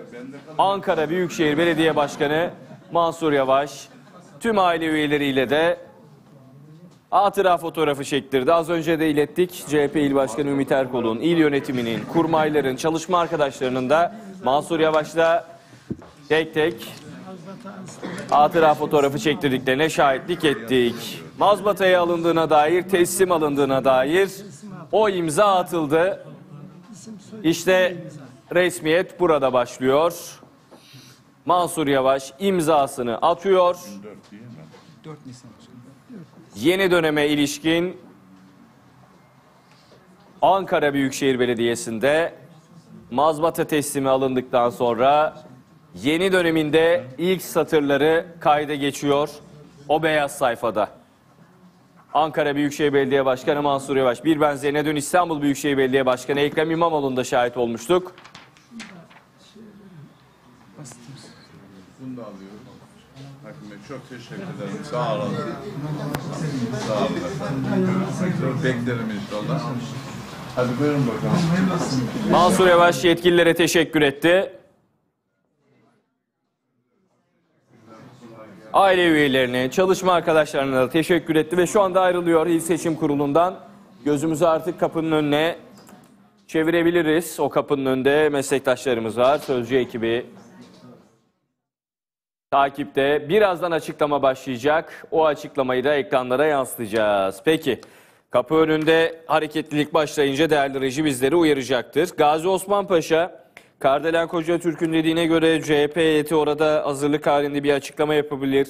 Son durumu paylaşabilir. CHP İstanbul İl Başkanı e, Özgür Çelik gün içerisinde kuşkusuz o noktaya da gelecektir. Ama hukukçulardan oluşan heyetler birden farklı noktada CHP heyetinden aldığımız bilgiyle söyleyelim mücadele halindeler diyorlar.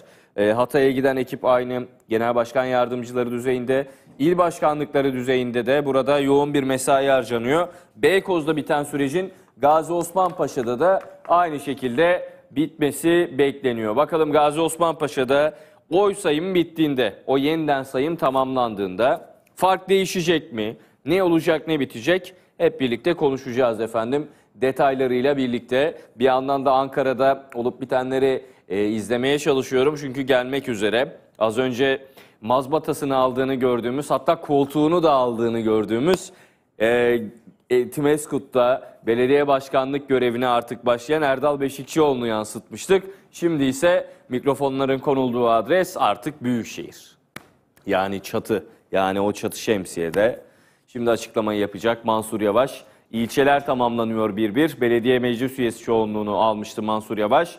Aile üyeleriyle birlikte mikrofon karşısında kulak vermeye başlayalım mı? Başkent Ankara'da ikinci Yavaş dönemi bugün resmen başladı. Şu tarafta şuraya alayım. Şuraya. Şey, önde olur. burada Ön, olur. önde yapalım. Şöyle gelin buyurun başkanım. Evet. Mazbata da geldi kürsünün önüne. Mansur Yavaş önce fotoğrafı veriyor. İçeride sadece ajanslar vardı az önce ifade etmiştik. Şu anda tüm meslektaşlarımızın bu tarihi anı fotoğraflaştırması için, tarihe kaydetmesi için bir poz veriliyor. İl yönetimi bir tarafta, bir tarafta Yavaş ailesi. Ve evet mikrofon, söz Mansur Yavaş'ta. Hatırınız arkadaşlar. Evet, değerli basın mensupları, bugün mazbatamızı almış bulunuyoruz. Ben öncelikle 5 yıl hizmetten sonra güvenini çok yüksek oranda Türkiye rekoru kırarak belirten Ankara halkına çok teşekkür ediyorum. Bir diğer teşekkürüm hem il teşkilatımız, ilçe başkanlarımız, gönüllülerimiz, emek veren herkese, oylarıyla da destek olan tüm Ankaralıya çok teşekkür ediyorum. Allah utandırmasın diyorum. İnşallah bizler yine aynı şekilde hesap verebilen, şeffaf, açık bir şekilde ortak akılla hareket eden bir belediyecilik, sosyal belediyeciliğe aynen devam edip artık hep iddia ettiğim gerçek belediyeciliğin bizim yaptığımız belediyecilik olduğunu, asfalt ve betondan, plastikten üretilen şeylerin asla ne bir proje ne bir belediyecilik olmadığını söylemiştim. İçinde insan olmayan, insana yaramayan hiçbir şeye de bir kuruş para veremeyeceğimi çünkü bu para halkın parasıdır. Biz onların adına onların verdiği parayı bütçeyi idare ediyoruz. O zaman bunu son derece dikkatli harcamamız lazım diyordum. Hep bunları anlattım ve çok şükür Ankara yüksek bir oyla bu güvenini belirtti ve bizim Mansur Yavaş Belediyeciliği adını verdiğimiz belediyeciliği tescilledi. İnşallah bundan sonra da bize güvenenlerin başına eğdilecek hiçbir işin içinde olmadan aynı şekilde Ankara halkına hizmet edeceğiz ve inşallah hep beraber seçilen belediye başkanlarımızla birlikte Ankara'yı Mustafa Kemal Atatürk'ün bize emanet ettiği şekliyle ve dünya başkentleriyle yarışır bir başkent yapmak ana hedefimiz olacak. Hepinize çok teşekkür ediyorum. Sağ olun.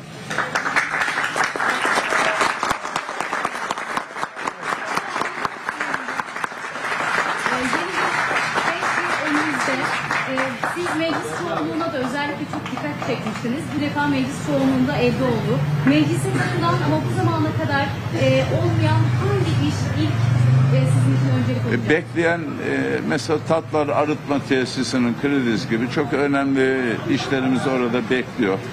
E, önceliğimiz oralardan olacak. Yine insan sağlığını önceleyen projeler olacak. E, tek, tek tek detaya girmek istemiyorum ama herhalde ben e, özellikle şunu söylemek istiyorum. Bize engel olan ve öncelik eden belediye başkanlarının hepsini kendi ilçelerinde şikayet ettim. Şu anda hiçbirisi belediye meclisinde değil. Ankara halkı onları sandıkta cezalandırdı. Şimdi diyorum ki yeni seçilen 8 belediye başkanı var. Rakip partiden seçilen ve bir bağımsız belediye başkanı var. İlk meclis konuşmamda yine aynı şekilde onlara 2019'da yaptığım konuşmayı yapacağım. El ele verelim. Ankara halkı bizi Ankara'ya hizmet etmek için seçti. E, dolayısıyla farklı partilerden seçilmemiz önemli değildir. Seçim bitmiştir artık bir araya gelme zamanıdır. Gelin birlikte Ankara'nın tümüne hizmet edelim çağrımı tekrar edeceğim. Umuyorum ki bu seçimden gereken dersler çıkarılmıştır. Ee, daha önceki dönemde yapılanların ne kadar kötü olduğunu Ankara anlayıp onları sandıkta cezalandırmıştır. Ee, amacım bu sefer elimizden tutacakları ve birlikte çalışacakları. Ben çağrımı tekrar edeceğim. Artık gerisini kendileri bilir. Çok teşekkür ederim arkadaşlar. Hayırlı olsun Ankara. Ankara'da ikinci Mansur Yavaş dönemi resmen başladı. Mazbatayı aldı. Artık ders alındığını düşünüyorum. Engellemeler olmayacağını düşünüyorum dedi Mansur Yavaş. Bu açıklama bize dünü hatırlattı. Hatta bugün de benzer cümleleri kurdu. Kim? İstanbul'da mazbatasını alan Ekrem İmamoğlu. Projelerimizi artık bekletmeyin. Onay verin çağrısı gitti. O çağrının gittiği adres malum Cumhurbaşkanlığınaydı. Ekrem İmamoğlu bu kez fark açıldı dedi. Mansur Yavaş tıpkı aynı vurgudan bahsetti. Ne yaptı? İnsanlar ders verdiler. Engelleme politikalarına ders verdiler. Biz böyle okuyoruz süreci dedi Mansur Yavaş. Ekrem İmamoğlu'ndan da benzer açıklamalar dakikalar önce kayda geçti. Bakın neler söyledi. Buradan Sayın Cumhurbaşkanına açık çağrıda bulunuyorum. Projesini tamamladığımız, bütçesini bulduğumuz, ihaleye çıkmak üzere uzun zamandır sizden imza beklediğimiz Sefaköy, Beylikdüzü, TÜYAP raylı sistem hattına metrobüs aracı alımı talebimize kömürcü oda atık yakma ve üretim enerji üretim tesisine ki Avrupa'da en büyüğü bir an önce onay verin. Keza Hazine ve Maliye Bakanlığımızdan Ümraniye, Ataşehir, Göztepe, Çekmeköy, Sancaktepe, Sultanbeyli, Kaynarca, Pendik, Tuzla ve 34 tramvay aracı ile ilgili onaylarımızı, yine metro aracı alım onaylarımızı vakit kaybetmeden vermesini bekliyoruz. Onay verin ki projeleri hızla ihale edelim ya da hızla yapılan projelere takviyeler gelsin. Tamamlayalım. Milletimizin cebine, milletimize hizmet edecek firmaların kasasına para girecek. Ülkemize dışarıdan çok uzun vadeli kaynaklar gelecek. Yapınca bunları ne oluyor? 16 milyon hizmetine sunacağımız işler oluyor. Çok işimiz var. Lütfen artık şunu söyleyeyim. Bizi yavaşlatmayın. Ben buradan açık ve net söylüyorum. Buradan da açık ilan ediyorum.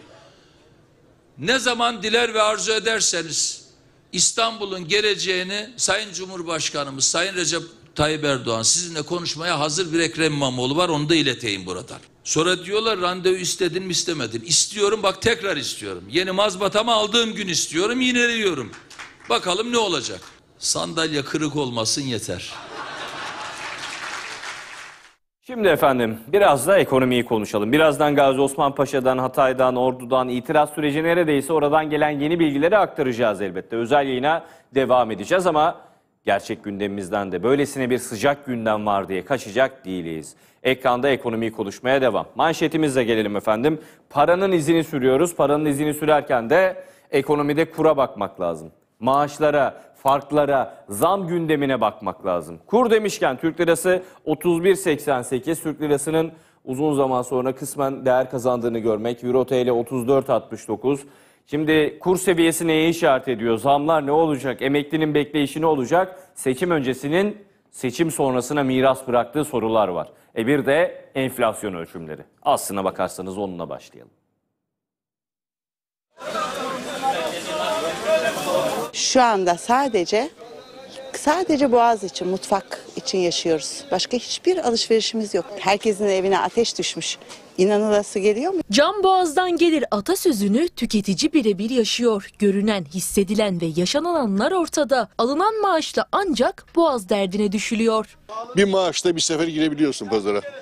İkinci kez girmek isteseniz? İkinci kez girmek istersen bekleyeceksin ikinci maaş. Gıda zamları başta olmak üzere iğneden ipliğe hissedilen enflasyon zirvedeyken TÜİK'e göre Mart'ta enflasyon yavaşladı. En aksa yukarı yönlü gidiş devam dedi. Valla herkesin enflasyonu kendine. TÜİK yalan söylüyor. Bunu artık herkes biliyor yani. Ben ENAK'tan daha yüksek hissediyorum. Mart ayı enflasyon verileri açıklansa da TÜİK başka, ENAK başka, tüketici enflasyonuysa bambaşka çıkıyor. Yaz aylarının gelmesiyle fiyatlar bir nebze olsun gerilese de tüketici bu rakamlarda cebimize denk değil diyor. Düşmüş düşmüş ama pahalı tabii ki. Birini alıyorsun birini alamıyorsun. Çok pahalı yani her şeye yetişemiyoruz. Parası olan sabah alıyor, parası olmayan akşam üzeri geliyor işte. TÜİK'e göre Mart ayında enflasyon %3,16 arttı. Yıllık enflasyon %68,5'a yükseldi. ENAG'a göre ise Mart'ta %5,68 arttı. Yıllık enflasyonsa %124,63 oldu. Yani TÜİK'in neredeyse iki katı. Emekliye göre yüzde yüzü de geçer yani. Hem emekliyim hem benim dükkanım var mesela terzi dükkanım. Ya bu seneye kadar gerçekten bu kadar zorlanmıyordum yani. Pazardan Cumhurbaşkanı'na mesaj vardı. Enflasyondan haberi olmadığı düşünülerek danışmanlarının değişilmesi talep edildi. Cumhurbaşkanımıza buradan diyorum adresindeki o onu yönlendiren danışmanlarını değiştirsin istiyorum ben. Seçimi, seçim sonrasını konuşmaya devam. Profesör Doktor Öner Günşavlı hocamız bizlerle birlikte ekonomistleri danışmaya devam efendim. Öner hocam selamlar. Hoş geldiniz. Hoş bulduk. İyi yayınlar diliyorum. Teşekkürler. Hocam seçimlerin verilen kararların cebe etkisini konuştuğumuz birkaç gün artık böyle uzaklaşıyoruz yavaş yavaş seçim atmosferinden. Gerçi bir iki yerde ciddi itirazlar söz konusuydu. Hala yeniden sayımın devam ettiği adresler var ama artık biraz ekonominin, para politikasının, olup biteni konuşmanın vakti. Yeterince sıcak gündeme zaman ayırdık. Ee, hiç ekonomiyi konuşmadan olmuyor çünkü gerçek gündemi o zaman ıskalamış oluyoruz. Şimdi zamlar yüzünü göstermeye başladı diye yorumlar geliyor. Ee, tütün ürünlerine gelen zamdan bahsedenler var. Ee, Mart'taki enflasyon verisinin ne anlattığını, TÜİK enak kıyasının geçmişe nazaran farklı bir yorumu hak edip hak etmediğini düşünenler var. Nasıl görüyorsunuz seçimden sonraki 3 gün boyunca öğrendiğimiz bu gelişmeleri? Can Bey, e, e, çabucak iyimserliğe kapılmamak e, lazım. Bu seçimlerin sonuçlarını e, biz daha çok e, yorumlayacağız. Buradaki mesajları kamuoyuna kamu, e, çıkartıp kamuoyuyla paylaşacağız. Çeşitli sonuçları var. Bunların zamanı gelecek. E, bu hengame ortadan kalktıktan sonra. Ama şunu ben kamuoyunun dikkatine sunuyorum. Enteresan bir seçim dönemi e, yaşadık. İki tane seçim 2023 ve 2024'te olmak üzere ve iki seçimde de ekonomi konusunda taban tabana zıt iki algı e, karşı karşıya geldi. Bizzat iktidar tarafından bu algılar e, yaratıldı. 2023'te hiçbir problemimiz yoktu. E, çok pembe tablolarımız vardı ve hatta ekonomik krizi inkar eden bir anlayış vardı. 2024'e geldiğimizde emeklilerin ihtiyaç duyduğu e, gelir artışını, ücret artışını bile bütçenin imkan vermemesi sebebiyle geri çeviren ve böylelikle ilk defa krizi resmen kabul etmiş olan, ekonomik sıkıntıyı kabul etmiş olan bir iktidar, Sayın Cumhurbaşkanı vardı. Dolayısıyla bu farkın e, kamuoyu tarafından e, bilinmesini isterim. Dolayısıyla bundan sonraki dönem e, vatandaşımız açısından çok da iyi olmayacak. Şimdi sorunuza gelirsek TÜİK ve ENAK rakamları arasındaki e, fark her zaman böyle çıkacak. Bunda herhangi bir şüpheniz olmasın. İki farklı metot, iki farklı hesaplama yöntemi. Ama bu ikisinin de verdiği bir sonuç var.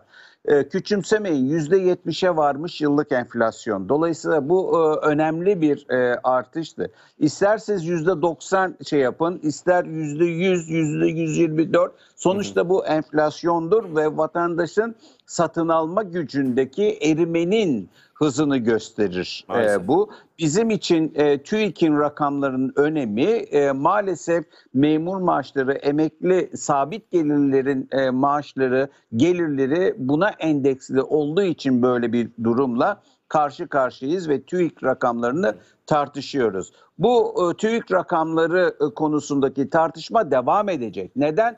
Çünkü bu rakamlara güvenimiz yok. Ee, neden yok? Çünkü şeffaf değil. Hala mal bazındaki detayları açıklamıyor Ee, ve kamuoyunun ileri sürdüğü endişelere cevap olabilecek açıklamaları kamuoyuyla birlikte gidermiyor. Dolayısıyla bu algı devam ettiği sürece bizim kamuoyundaki bu tartışmalarımızda e, devam edecek e, demektir. ENAK'la TÜİ, e, TÜİK rakamları arasında öyle bir noktaya gelebiliriz ki bir noktadan sonra ENAK'ın rakamları bile bizi kesmeyebilir. Şimdi efendim ben şunu e, canı gönül e, şey e, kesin bir dille ifade etmek isterim ki e, bugün gördüğümüz bu seçimlerden de ortaya çıkan bir tablo var karşımızda. İktidarın ve yerel yönetimler açısından iki farklı e, durumla karşı karşıyayız. İktidar diyor ki ben genel e, iktisadi e, konjonktür, iktisadi gelişmeleri kontrol edebilmek için makro dengeyi e, gider e, sağlayabilmek için faizleri arttıracağım, kurlarda göreli fiyatları değiştireceğim, e, iç talebi kısacağım, vatandaşın kredi kartlarına e, sınırlamalar getireceğim ama öteki taraftan da maliye olarak işte ben harcamaya itibardan tasarruf etmeyeceğim diyor. Bunların birçoğu doğrudan vatandaşı etkileyen şeyler değil. Yani olumlu yönde etkileyen, vatandaşa e, sürekli maliyet yükleyen tedbirler.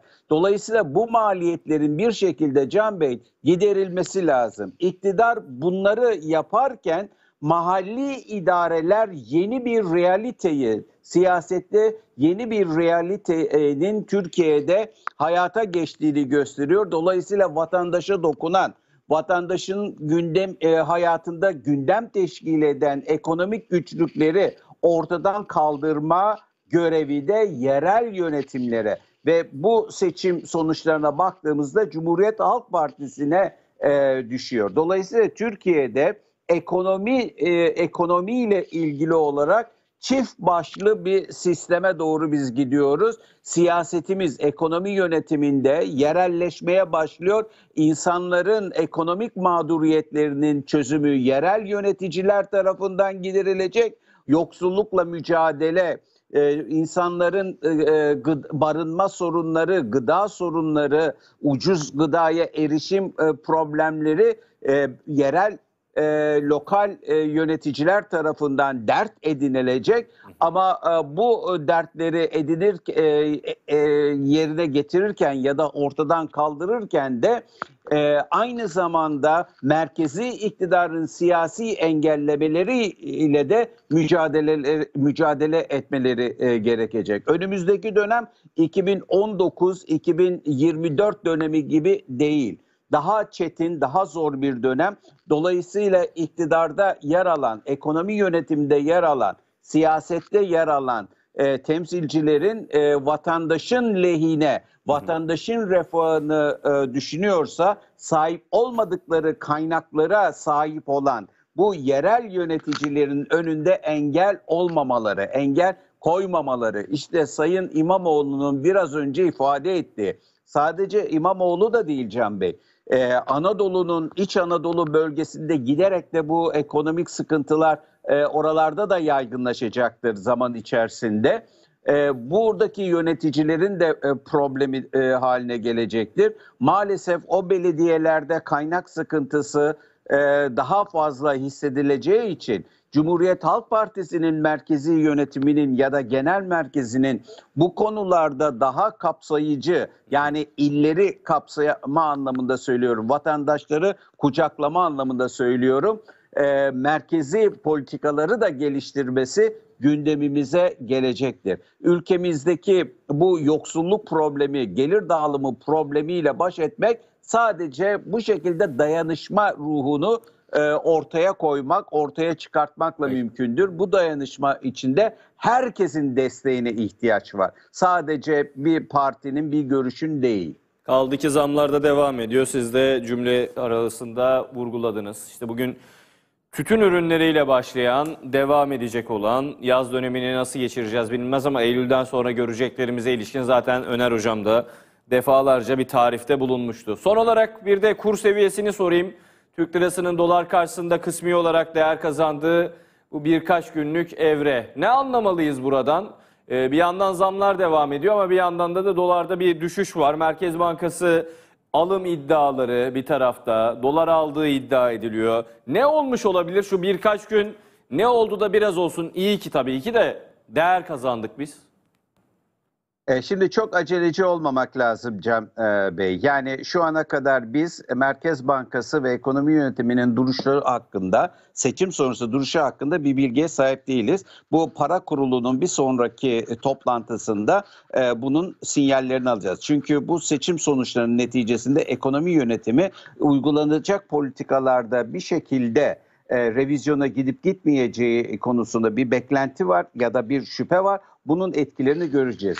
Bu o, Türk lirasındaki bu düşüşü anladığım kadarıyla e, Merkez Bankası e, engellemeye çalışıyor ve e, bu o, ortamda e, Türkiye'ye giren e, paraların e, veya e, anladığım kadarıyla yine Merkez Bankası'nın e, e, bir rezerv biriktirmeye e, yönelik bir takım e, politika değişikliği e, var seçim sonrasında. Yani yurt dışından daha e, hızlanarak bir sermaye girişinin olacağını e, iddia ediyor. Zaten önümüzdeki dönemde biliyorsunuz yaz sezonu, turizm sezonu.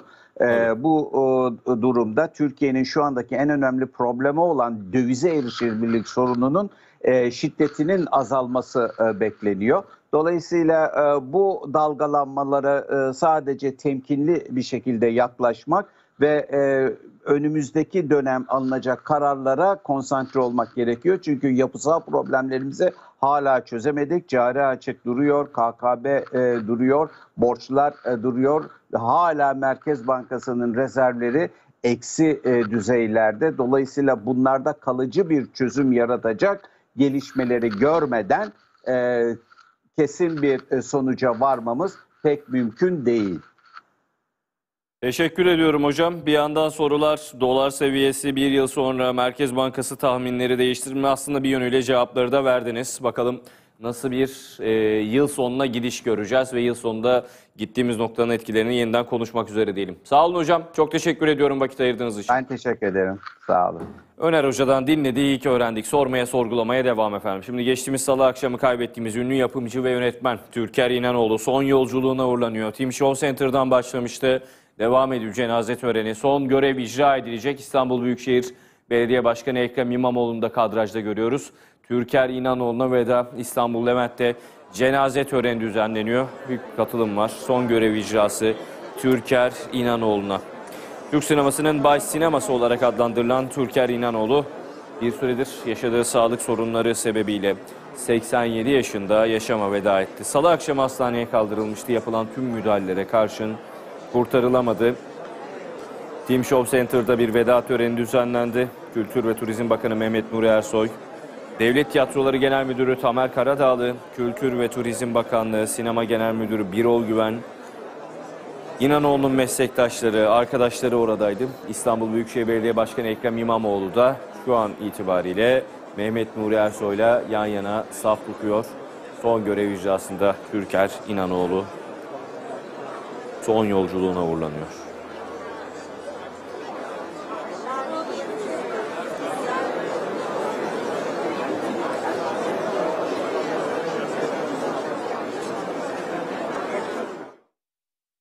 Bir kez daha başsağlığı dileklerimizi paylaşalım. Şimdi efendim notlarıma bakıyorum. Bugün Gazi Osman Paşa çok soruldu. Aktarıyoruz an be. Ordu Hatay aynı şekilde. Kimi ilçelerde değişiklikler var. Onları Sözcü Televizyon Haber Merkezi adım adım takipte. Birazdan çok net anlaşılır sonuçları ekranlara taşıyacağız. Bitmeyen seçimler var. Ha bir de yenilenenler var. 2 Nisan e, tarihi itibariyle 2 Haziran'a atılan bir daha sandığa gideceksiniz kararları var. Onlara da bakacağız elbette. Örneğin Pınarbaşı'ndaki son durumu aktardık. Az önce Saygı Öztürk verdi. Şimdi İstanbul'da mazbataya dair son durum analizini de paylaştık. Mazbatasını alanlar, alacak olanlar, itirazın sonucunu bekleyenler. Bir de ama seçim hesabına dönmek lazım. Yani seçim günlerinde, seçim sattım halinde, propaganda sürecinde başta Cumhurbaşkanı ve Adalet ve Kalkınma Partisi'nin Genel Başkanı Recep Tayyip Erdoğan olmak üzere bazı iddialar ortaya atıldı. Örneğin miting kalabalıkları. Bunlar da dikkat çekiciydi. Kimi yerde burada 50 bin var denildi. 13-14 bin oy çıktı oradan. Yani o meydana sahip ilçeden. Şimdi tüm bunlar hesabı nasıl yapıldığını biraz şüpheyle yaklaşıyor insanlar. Mesela Sivas, mesela bakıyorum Yozgat, bakıyorum Ağrı. Şimdi miting meydanındakinin, miting meydanında verilen, söylenen, duyurulan o verinin toplam insan sayısı verisinin çok çok altında sonuçlarla yüzleşti buralarda AK Parti. Ne oldu ne bitti? Hatırlatması bizden.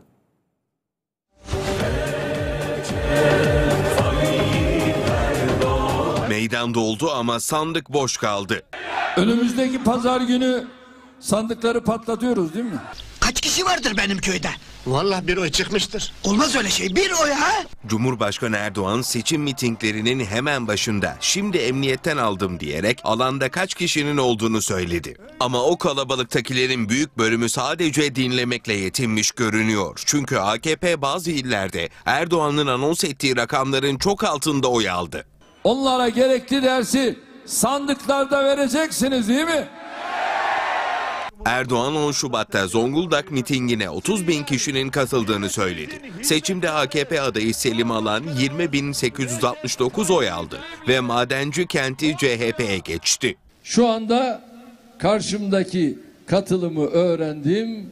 75 bin kişi. Sivas Emniyetine göre Sivas mitinginde 75 bin kişi vardı ama AKP adayı Hilmi Bilgin 52.669 oy aldı. Sivas'ı kazanansa 78 binden fazla oy alan Büyük Birlik Partisi adayı Adem Uzun oldu. 40 bin kişinin olduğunu emniyetten aldım.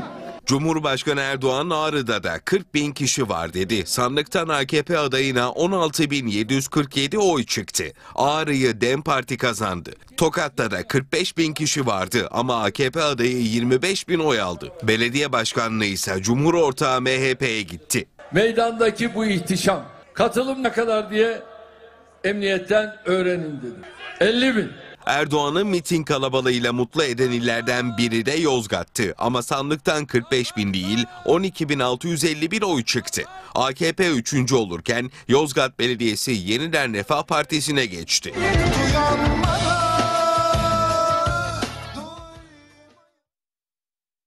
Bir de arkadaşlar şöyle demişler. Gemiyi terk edenler kategorisi. Her seçim sonrası olur. İstifalar olur, bırakanlar olur. Partisinin propaganda yöntemlerini suçlayanlar olur. Ama genelde bunu iktidar saflarında görmezdiniz.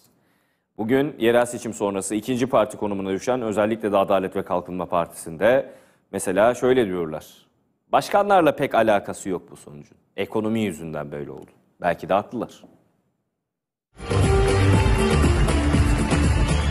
Bazı şeylerin başkanla da alakalı olduğunu düşünmüyoruz. Bu sözlerle karşıladı yenilgiyi Balıkesir'in AKP'li eski belediye başkanı Yücel Yılmaz. Seçim süresi boyunca Yılmaz'la Akın'ın çekişmesi çok konuşulmuştu. Sandıktan Akın çıktı. Yücel Yılmaz'ın ise belediye kürsüsünden yaptığı son konuşması dikkat çekti. Yılmaz halkı sadece yerel yöneticilere değil merkezi hükümetin ekonomi politikalarına da tepkili olduğunu belirtti. Kamuoyu bir e, tepki verme ihtiyacı hissetti. Bu tepki de sandığa yansıdı. Bazı şeylerin başkanla da alakalı olduğunu düşünmüyoruz. Sonuçları derin bir şekilde değerlendireceğini söyledi eski başkan Yılmaz. Bunu mutlaka e, derin bir şekilde değerlendireceğiz. Bursa'da da benzer bir ses yükseldi. O ses sandıktan galip çıkamayan Bursa Büyükşehir Belediye eski başkanı Ali Nur Aktaş'ındı. Yerel seçimi yorumladı. Mağlubiyeti kötü ekonomi yönetimine mal etti. Seçmen sadece Bursa'da değil, Türkiye'de de aslında aynı sesi çıkardı, aynı ifadeyi kullandı. Rahmetli Demirel'in tencere ve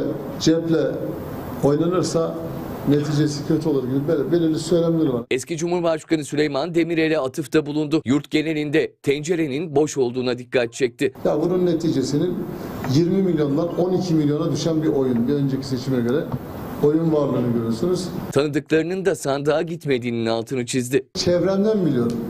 Gidersem dayanamam, ampule basarım çünkü. Gitmeyeceğim dedi, gitmeyerek dedi protesto mesela. O kadar çok kişiden ben bu muhabbeti dinledim ki.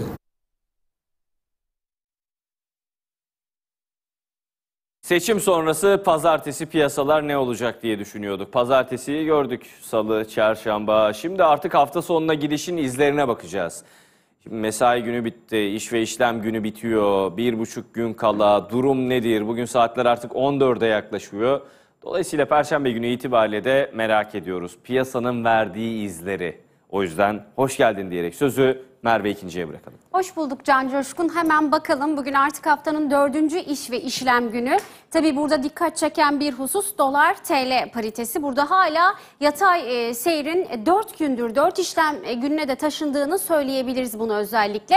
E, borsada yön yukarı çevrildi. Bugün açılışta dünkü kapanışın hemen üzerinde e, bir rakamda yeni güne başladı. Borsa İstanbul'da 100 endeksi e, baktığımızda da günlük yükselişin şu saat itibarıyla %2'nin üzerinde olduğunu söyleyebiliriz. Yani endeks %2 primli 9137 puan seviyesinde açılışına 8949 puan seviyesinden yapmıştı. Burada bankacılık hisseleri hafta başından beri eksideydi.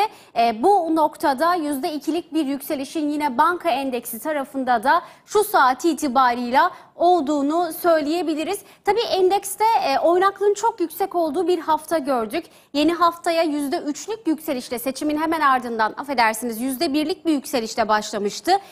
Gün içinde kazanımlarını %3'e kadar taşıdı pazartesi gününde ve yeniden satıcılı bir seyirde günü tamamladı. Salı günü benzer şekilde satıcılı bir seyir gördük. Dün de aynı şekilde endekste satıcılı bir seyir vardı. Ee, ancak bugün yeniden 9000 puanın üzerine çıktı. 9140 puan seviyesindeyiz. Burada artık psikolojik seviye diyorduk 9100 için ve o psikolojik seviyenin üzerine doğru yol almaya devam ediyor borsada. BIST 100 endeksi, Borsa İstanbul'da 100 endeksi. Hemen bakalım dolar TL'de ne durumdayız? E, parite ilk gün pazartesi günü yeni güne başlarken e, 32'nin altına geriledi bir e, satış baskısı gördük ama salı günü yeniden e, 32'nin üzerinde seyretmeye rekor seviyelere ilerlemeye devam etti. Dün yeniden bu ekranda biz artık e, 32'nin hemen altındaki sınırları gördük. 31.89 seviyesinde e, 32'ye yakın bir yerde hareketini sürdürüyor dolar TL paritesi. E, bu noktada 31.95'ten güne başladığını da söyleyelim. Yön bir miktar daha aşağı 31.90'lardan 80'lere doğru çekiliyor. 31.88 seviyesinde. E, bu arada tabii biz dolarda bu yatay seyri görürken e, bir noktaya daha dikkat çekelim. Şimdi Merkez Bankası'nın rezervleri 22 Aralık'ta net rezervler 40 milyar dolar e, düzeyinde rekor kırmıştı. O 7 aylık süreçte biz rezerv birikimini gördük. Merkez Bankası'nda düzeltelim 6 aylık süreçte. E, ancak o 22 Aralık'tan itibaren yön böyle aşağı doğru inmeye başladı ve rezervler artık düşüşe geçti ve e, eksi net rezervlerde ciddi bir kayıp gördük. 15 milyar dolar düzeyine indi. Swap hariç net rezervlerde eksi 70 milyar dolar düzeyini gördü seçimden önce. Ancak geçen hafta Merkez Bankası'nın net rezervlerinde yine artışa şahit olduk. Bankacıların hesaplamalarına göre 1 milyar dolarlık bir artış var. Bugün saat 14 itibarıyla da Merkez Bankası'nın istatistiklerinden rezervlerdeki artış duruma bakıp yine aktaracağız ama rezervlerde bir, e, 1 milyar dolarlık net rezervlerde bir artış var. Yani bir rezerv e, satışının da geçen hafta durduğunu e, söyleyebiliriz döviz satışının bu noktada. Hemen Euro TL paritesine bakıyoruz. E, parite 34,5 seviyesinden yönünü yukarı çevirdi. 34.67 seviyesinden işlem görüyor. Euro dolar çaprazında durum 1.09 seviyesi. Çünkü dün e, hem Euro bölgesinde tüketici fiyatları enflasyon verilerinde yatay bir seyir gördük. Üretici fiyatları da aynı şekilde yavaşladı. Üretici enflasyonu da yine Avrupa bölgesinde beklentilerin altında geldi. Euro bir miktar güçlü bu noktada. Şimdi Dün Powell'ın açıklamalarını küresel piyasalar takip etti. Amerika Merkez Bankası FED Başkanı Powell'ın açıklamalarını. Evet bir noktada faiz indirimi yapılacak bu yıl FED tarafından ama Powell dedi ki burada verileri dikkate alacağız. E, kimi e, analistlere göre 3 faiz indirimi yapılacak. Toplamda 75 bas puanlık bir faiz indirimi yapılacak. E, ama kimilerine göre de sadece 2 faiz indirimiyle yetinecek Amerika Merkez Bankası FED. Powell da diyor ki verilere göre hareket edeceğiz ki bu söylemler yılbaşından beri bu yönde. Brent petrol 90 dolar sınırındaki hareketini sürdürmeye hafta başından beri devam ediyor. 89-24 dolar paritesinden e, 24 dolar seviyesinden varili işlem görüyor. Altının gramında 2350 dolar, e, lira seviyesindeyiz içeride. Bugün tabii dün enflasyon verilerini karşıladık. Merkez Bankası da aylık fiyat değerlendirme raporunu paylaştı. Burada özellikle çekirdek enflasyona dikkat çekiliyor. Çünkü enerji ve gıda grubunun dahil edilmediği enflasyon hesaplaması yani çekirdek enflasyon hala yüksek öngörülenin e, üzerinde bir çekirdek enflasyon geldiğine dikkat çekiyor. Temel mal gruplarında hem hizmet tarafında hem gıda tarafında fiyat artışları devam ediyor. E, bu noktada enerjide düşüş olsa da e, burada özellikle iç talebinde direncinin koruduğunun bunun da fiyatlara etkisi olduğu da yine Merkez Bankası tarafından belirtiliyor. Gıdada ciddi artışlar gördüğümüz bir Mart ayını da geride bıraktık. Burada kırmızı et öncülüğünde bir yükseliş oldu diyelim. E, Merkez Bankası bunu söylüyor ve piyasa notlarımız şu saat itibariyle bize bunları anlattı. Can Coşkun iyi yayınlar. Teşekkürler. Kolay gelsin Merve ikinci. Şimdi bir saatimiz daha var. 14 başı itibariyle az önce kayda geçen Mansur Yavaş açıklamaları. Hemen öncesinde Ekrem İmamoğlu'nun söyledikleri. Gazi Osman Paşa'da son durum. Beykoz'da nihayete eren durum. Sözcü mikrofonlarına özel açıklamasını yapan Sinem Dedetaş nereyi işaret etti, ne işaret etti, ne yapacak İstanbul Üsküdar'da hepsini hatırlatmanın zamanı. Bu arada İsmail Saymaz aramızda olacak. İsmail Saymaz'la Van'da aslında ne oldu? Kitabın ortasından doğru sorular. Biliyorsunuz İsmail Saymaz da hiç eğip bükmeden anlatır, anlatacak. İyi Parti'yi sormak isteyenler var. Sorarız. İstanbul'u, Ankara'yı, Cumhurbaşkanlığı yolunu, erken seçim iddialarını, Adalet ve Kalkınma Partisi'ni ya da Sayın Cumhurbaşkanı'nın yeni dönemini, ne olacağını, MHP'yi, Sayın Bahçeli'yi hepsini konuşmak gerekiyor. Şimdi İstanbul Büyükşehir Belediyesi'nde ezici bir çoğunluk, Ankara Büyükşehir Belediyesi'nde ezici bir çoğunluk belediye meclis üyelerinde Sayın İmamoğlu, Sayın Yavaş açısından. Burada artık ne beklemeliyiz, nereye doğru gider?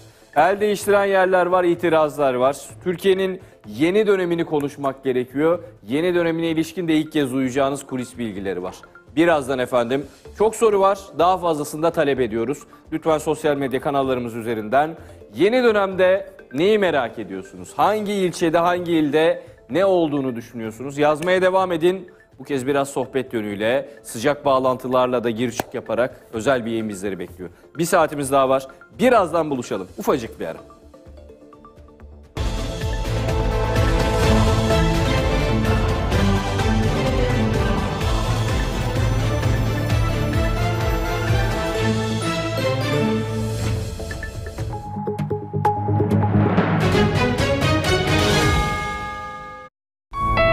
Rising Pergola ve Tente Sistemleri hava durumunu sunar.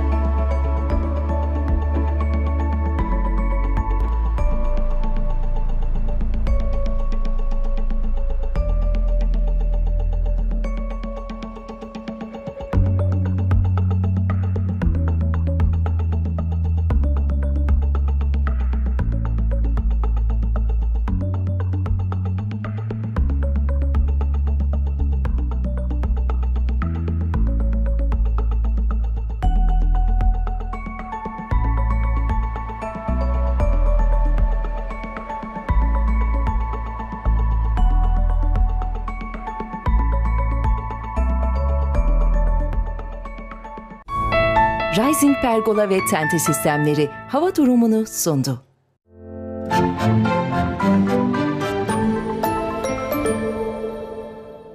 Bana sorup duruyorlar. En iyi tatil fırsatı nerede? İşte burada. Setur fırsatlarıyla yalnızca %25'ini şimdi öde, tatilini garantile. Üstelik 7500 TL'ye varan World Puan hediyesiyle. Aradığın tatil Setur. Önce gücün olacak. Fabrikan Avrupa'nın tek çatı altındaki en büyük lastik fabrikası olacak. Otomobil, kamyon, otobüs, traktör, iş makinesi, yarış aracı, askeri araç ve hatta uçaklar için bile 300 farklı desende 3500 farklı ürün sunacak. Hepsini binlerce noktaya ulaştıracak, 130 ülkeye ihracat yapan tek lastik markası olacak. Durmayacak. En iyisine ulaşmak için yılda 350'den fazla ARGE projesi geliştirecek, milyonlar harcayacak. Zorlu koşullara dayananını tasarlayacak, en güçlüsünü yapacak. Hatta onlarca tonluk uçakları durduracak. Her birinin Türkiye'de tek olan kendi test pistinde. Güneş bile gücüne güç katacak. Çünkü bu güç sana bir gün lazım olacak. Sen yeter ki güç iste. Petlas'la güç sende.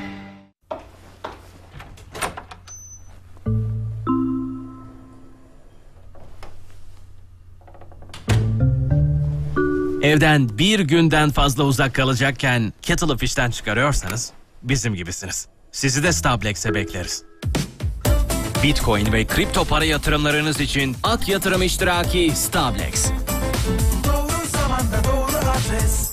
Starbucks. Lösemiymiş hastalığımın adı. Hastalığı sizin desteğinizle yendim. Size çok teşekkür etmek istedim.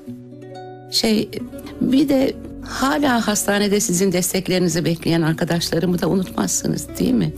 Diyecektim. İmza Sevinç Aksu. Lösev hayat verir. Çankaya. Türkiye Cumhuriyeti'nin kurucusu Atatürk'ü her yönüyle anlamak için harika bir eser. Mustafa Kemal'i yanında bulunmuş, onun yaşadıklarını bizzat kendisinden dinlemiş, hatta birçoğuna şahit olmuş Falih Rıfkı Atay'ın kaleminden okuyacaksınız. Her Türk vatandaşının mutlaka okuması gereken ölümsüz eserin 1914-1918 yıllarını kapsayan arşiv niteliğindeki albümü 6 Nisan Cumartesi günü Sözcü gazetesiyle birlikte ücretsiz. Sevgili iyi uyku dostları, ihtiyaç duyduğunuz her anda size destek olmak için yanınızdayız. Bize en çok ihtiyaç duyduğunuz uyku anınızda da en iyi konforu sağlıyoruz. Yeni Serta Perfect Sleeper koleksiyonunu daha dinlendirici bir uyku için geliştirdik. Şimdi lansmana özel %20 indirim fırsatıyla Yatsan mağazaları ve yatsan.com'da. Yaşanılabilir bir gelecek ve daha temiz bir dünya için çözüm temiz enerji. CV Enerji. Bugün ve gelecekte sizinle birlikte.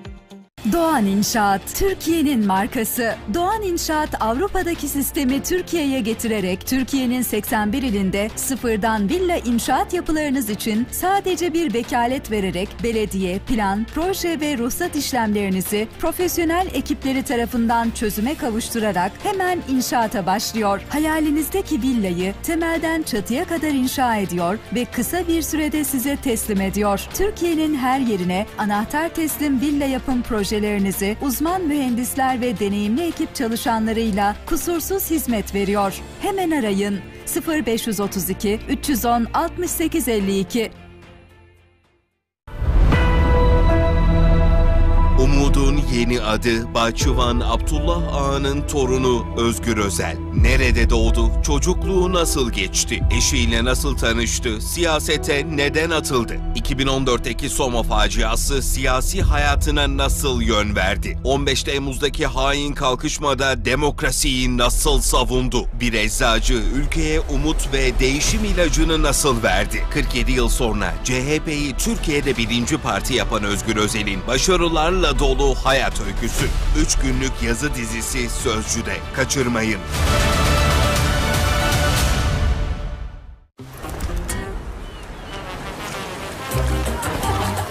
My living room.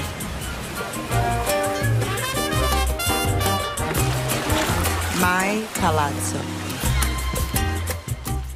Vodafone Business IoT çözümleriyle işleriniz sizin kontrolünüzde. Red Enerji ile %30'a varan elektrik tasarrufu sağlayabilirsiniz. Görüntü işleme sistemiyle siz de mağazanızın takibini yaparak hangi reyon daha fazla ziyaret edilmiş analizlerle öğrenebilirsiniz. Ya da araç takip sistemiyle araçlarınızın anlık konumunu kolaylıkla takip edebilirsiniz. IoT çözümlerimizle perakende sektöründe verimliliğinizi artırın, maliyetleri azaltın. Thank you.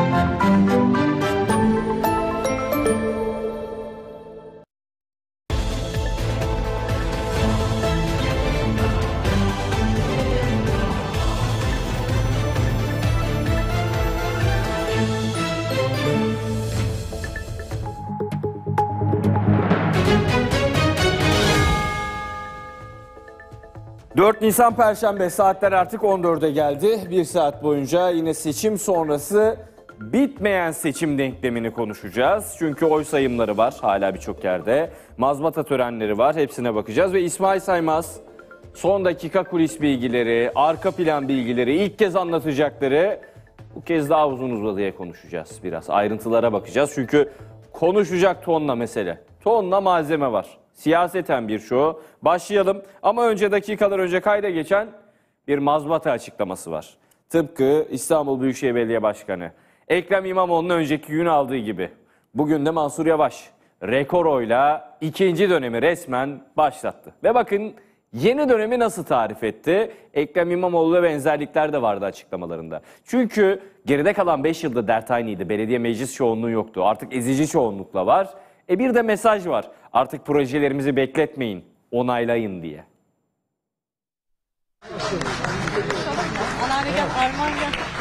Çok şükür Ankara yüksek bir oyla bu güvenini belirtti ve bizim Mansur Yavaş Belediyeciliği adını verdiğimiz belediyeciliği tescilledi. Ankara halkı bizi Ankara'ya hizmet etmek için seçti. E, Dolayısıyla farklı partilerden seçilmemiz önemli değildir. Seçim bitmiştir artık bir araya gelme zamanıdır. Gelin birlikte Ankara'nın tümüne hizmet edelim çağrımı tekrar edeceğim. Umuyorum ki bu seçimden gereken dersler çıkarılmıştır. Ee, daha önceki dönemde yapılanların ne kadar kötü olduğunu Ankara anlayıp onları sandıkta cezalandırmıştır. Ee, amacım bu sefer elimizden tutacakları ve birlikte çalışacakları. Ben çağrımı tekrar edeceğim artık gerisini kendileri bilir. Şimdi ban tartışması. Diyeceksiniz ki ya bitti mesele. İşte Abdullah Zeydan, protestolar, şu bu, mazbatası e, verilecek. Oraya verecek. YSK sonunda dahil oldu. Hukuken doğru bir tercihte bulundu. E, çünkü mesai saatine 5 dakika kala böyle bir işlem yani vicdanlara, kanaatlere yaralayıcı bir adımdı. İşte beklenen oldu. Adalet ve Kalkınma Partisi'nin yeni döneminden yargı üzerinde baskı vardır, yoktur, derecesi vardır, yok. Bu tartışmaların hepsini taca çıkaran bir adım atmıştır YSK. Bundan memnuniyet duymalıdır herkes gibi. Adalet ve Kalkınma Partisi cephesinden de bu yönde mesajlar geliyordu biliyorsunuz. Ama bu mesajlardan mesela Genel Başkan Yardımcılığı düzeyinde Hayati Yazıcı, Adalet ve Kalkınma Partisi içinde bilindik simge bir isim değil mi? Yüksek Seçim Kurulu'nun kararını tebrik etti. Böylelikle cinnet hali bitmiştir neyse ki dedi. Sokaklardaki olup bitene atıfta bulundu. İyi ki bitti o cinnet hali dedi. Yakışmıyor o görüntüler dedi sokaklarımıza. Ama ne oldu? Sonra o paylaşım kaldırıldı biliyor musunuz? Ve Cumhurbaşkanı'nın baş danışmanı Mehmet Uçum Van'la ilgili bazı açıklamaları not aldıklarını söyledi. Van meselesi belki insanların gündeminde bitti. Ama Adalet ve Kalkınma Partisi içerisinde başka şeyleri başlatmış gibi görünüyor. Birazdan İsmail Saymaz'la belki de en başında bunu konuşacağız. Sonra diğer konulara geçeceğiz. Bakalım mı bir manzaraya? Hukuk devletinin gereği neyse, demokrasimiz neyi gerektiriyorsa onu yapmaktan çekinmeyeceğiz. Tüm siyasi aktörlerden de hukukun üstünlüğüne saygı göstermelerini bekliyoruz. Mazbata demli değil AKP'li adaya verildi. İtiraz adımı DEM Parti'den, tepki ise muhalefetten geldi. YSK oy çokluğuyla Van Yüksek Seçim Kurulu'nun kararını iptal etti. YSK kararı iktidarı ikiye böldü. AKP Genel Başkan Yardımcısı Hayati Yazıcı, YSK'nın mazbatanın Zeydan'a verilmesi kararını isabetli bulduğunu yazdı önce. Sosyal medya hesabından yaptığı paylaşımda yaşananları cinnet hali olarak nitelendirdi. YSK'nın aldığı kararı kutladı. Ancak ne olduysa oldu. Yazıcı bu paylaşımı kısa bir süre içinde kaldırdı. 85 milyonun iradesine karşı yapılan bir darbedir. Van'daki mazbata krizi tartışmasına dahil olan Cumhurbaşkanı Başdanışmanı Mehmet Uçum, kararı eleştiren AKP'lilerin aldıkları tutumun kaydedildiğini söyledi. Muhalefetin tüm aktörlerinin ve daha çarpıcısı iktidar içinde yer aldığı kabul edilen ve neoliberal zehirle zihin dünyalarını batıcılığa teslim etmişlerin Van olayında aldıkları tutumların kaydedildiğini de herkes fark eder. Karar duyuldu. Mazbata kararı verildi. YSK süreçte nihai sözünü söyledi. Protestolar, olup bitenler, olaylar her şey yerini kutlamalara bıraktı.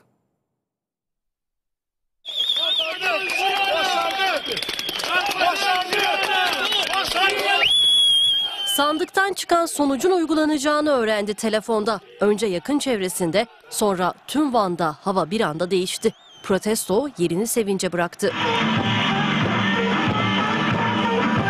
Van İl Seçim Kurulu'nun aldığı kararla başladı tepkiler. Başsavcılığın 29 Mart Cuma mesai bitimine 5 dakika kala yaptığı itirazı mahkeme kabul etti. Mazbata'nın sandıktan ikinci çıkan AKP adayına verilmesi istendi. Protestolar Van'da başladı, 6 şehre hatta İstanbul'a kadar yayıldı. DEM Parti eş genel başkanları, CHP, Tip Genel Başkanı Erkan Baş, Başak Demirtaş ve siyasiler Van'a akın etti. DEM Parti Van İl Seçim Kurulu'nun kararını YSK'ya taşıdı. YSK son sözü söyledi. 7 üyenin kabul, 4 üyenin red oyuyla alındı karar. Mazbata, DEM Parti'nin kazanan adayı Abdullah Zeydan'a verilecek. Haberin kente ulaşmasının ardından günlerdir süren protestolar yerini kutlamaya bıraktı. Işıklar geceyi aydınlattı. DEM Partili Abdullah Zeydan kalabalığa seslendi. Artık kimse sizin iradenizi gasp etmeyi aklından bile geçiremeyecek. Kutlama geç saatlere kadar sürdü. Ardından temizlik başladı. Vanlılar kolları sıvadı, sokaklar hep birlikte süpürüldü. Sevinçten geriye yasaklar kaldı. Gösteri ve yürüyüş yasağı Muş'ta 6 Nisan'a kadar sürecek. Van, Bitlis ve Şırnak için getirilen 15 günlük yasak 17 Nisan'da sona erecek. Seçimden sonra açıkçası bu kadar konuşulabileceğini bilmiyorum kimler tahmin edebilmişti. Daha çok İstanbul ve Ankara'da acaba belediye meclis çoğunluğu olur mu olmaz mı? Türkiye buna kilitlenmişti. Bu denli büyük beklenti il ve ilçe bazında baktığınızda çok sürpriz yer var. Sadece anket firmaların değil, evlerin içini, aileleri, eş dost sohbetlerini kastediyoruz. İstanbul ve Ankara'da örneğin CHP seçmeni meclis çoğunluğunun alınması asıl amaç diye bakıyordu. Ekrem İmamoğlu'na karşı parçalı adaya karşı kazanır mı? Acaba kaç puan farklı kazanır? Ne olur ne biter? Herkes aday çıkarmış gibi sohbetler vardı. Keza AK Parti seçmeninde de acaba Ekrem İmamoğlu'nun karşısındaki bu parçalı yapıdan ne çıkar sorusu vardı. Ama ne İstanbul'u ne Ankara'sı onunla sınırlı kalmadı. Belediye meclis üyelikleri, değişen ilçeler bitmedi. O harita kırmızıya boyandı. Ülkemizin haritasından bahsediyoruz. Kırmızı bir haritadan bahsediyoruz artık çünkü ülkedeki birinci parti değişti yerel seçim denkleminde. Ama bitmedi yine. Mazbata krizi, yeniden sayımlar, itirazlar derken bir Van sınavı verdik. E, dolayısıyla elimizde çok soru var. Tüm bunları da kimle konuşacağız? Sözcü ailesinin değerli üyelerinden İsmail Saymaz. Bugün Skype değil, stüdyo konumuz. Selamlar. Merhaba, merhaba. Başlayalım. Önce Hayati Yazıcı. Adalet ve Kalkınma Partisi'nin genel başkan yardımcısı. Şimdi hani Sayın Cumhurbaşkanı'nın yanında kurulduğu günden bu yana kalan isimler akla geldiğinde işte Binali Yıldırım'ı İlker'den sonra sayarız.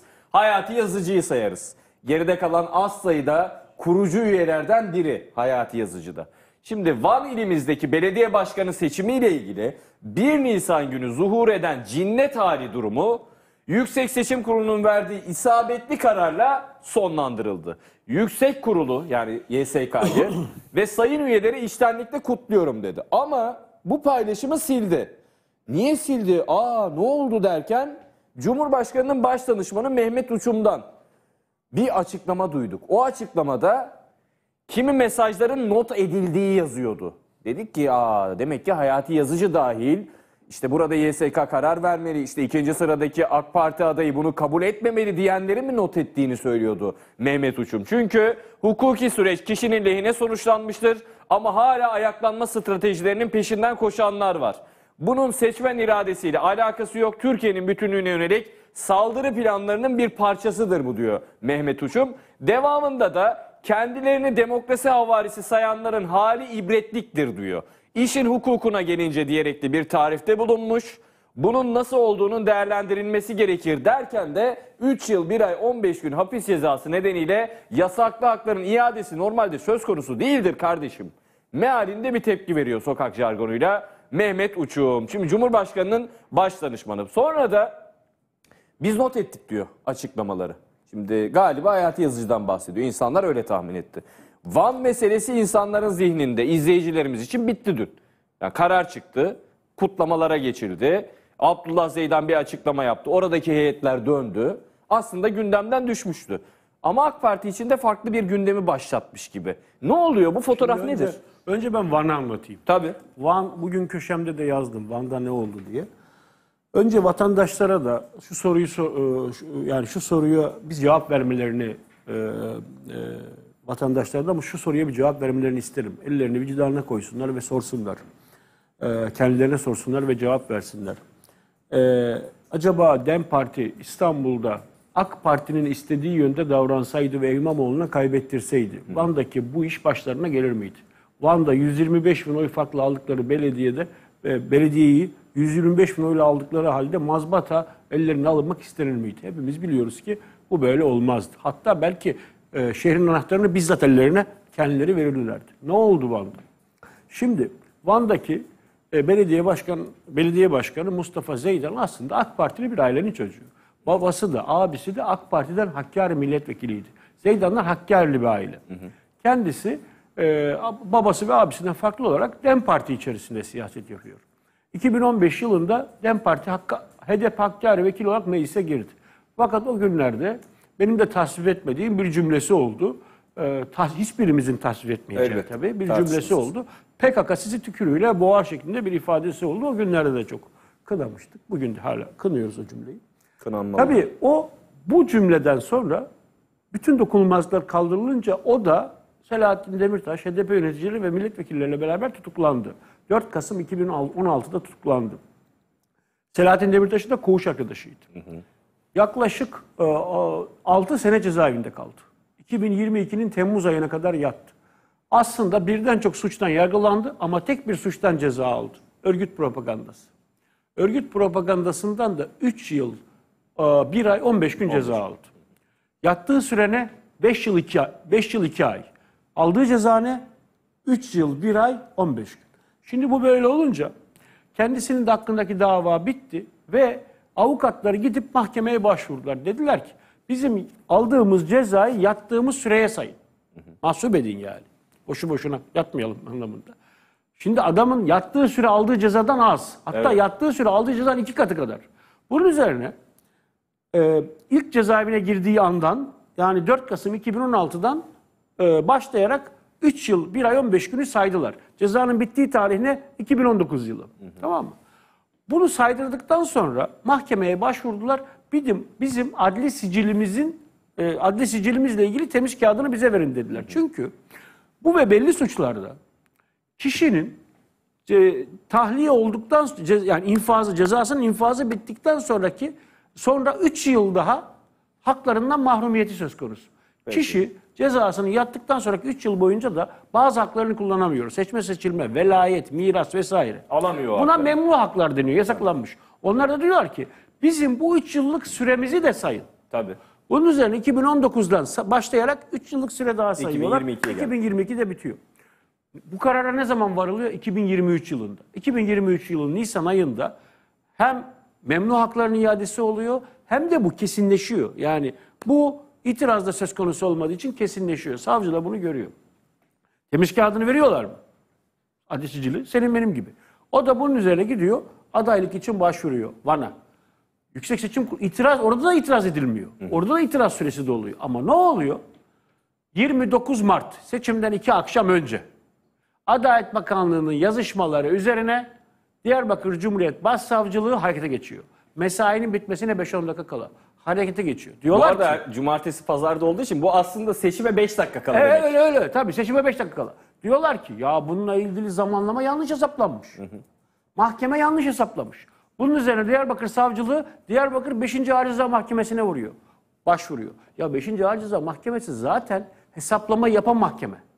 Yani Bu- aynı bu mahkeme hakları iade eder. iki yıl önce hem hem infazı in- yani hem adamın yattığı süreyi aldığı cezayı yattığı süreye saymış hem de infaz süresini de o hesaplamış hem de bunu Adli Sicil Genel Müdürlüğü'ne o mahkeme bildirmiş. Demiş ki bu adamın adli sicili temiz.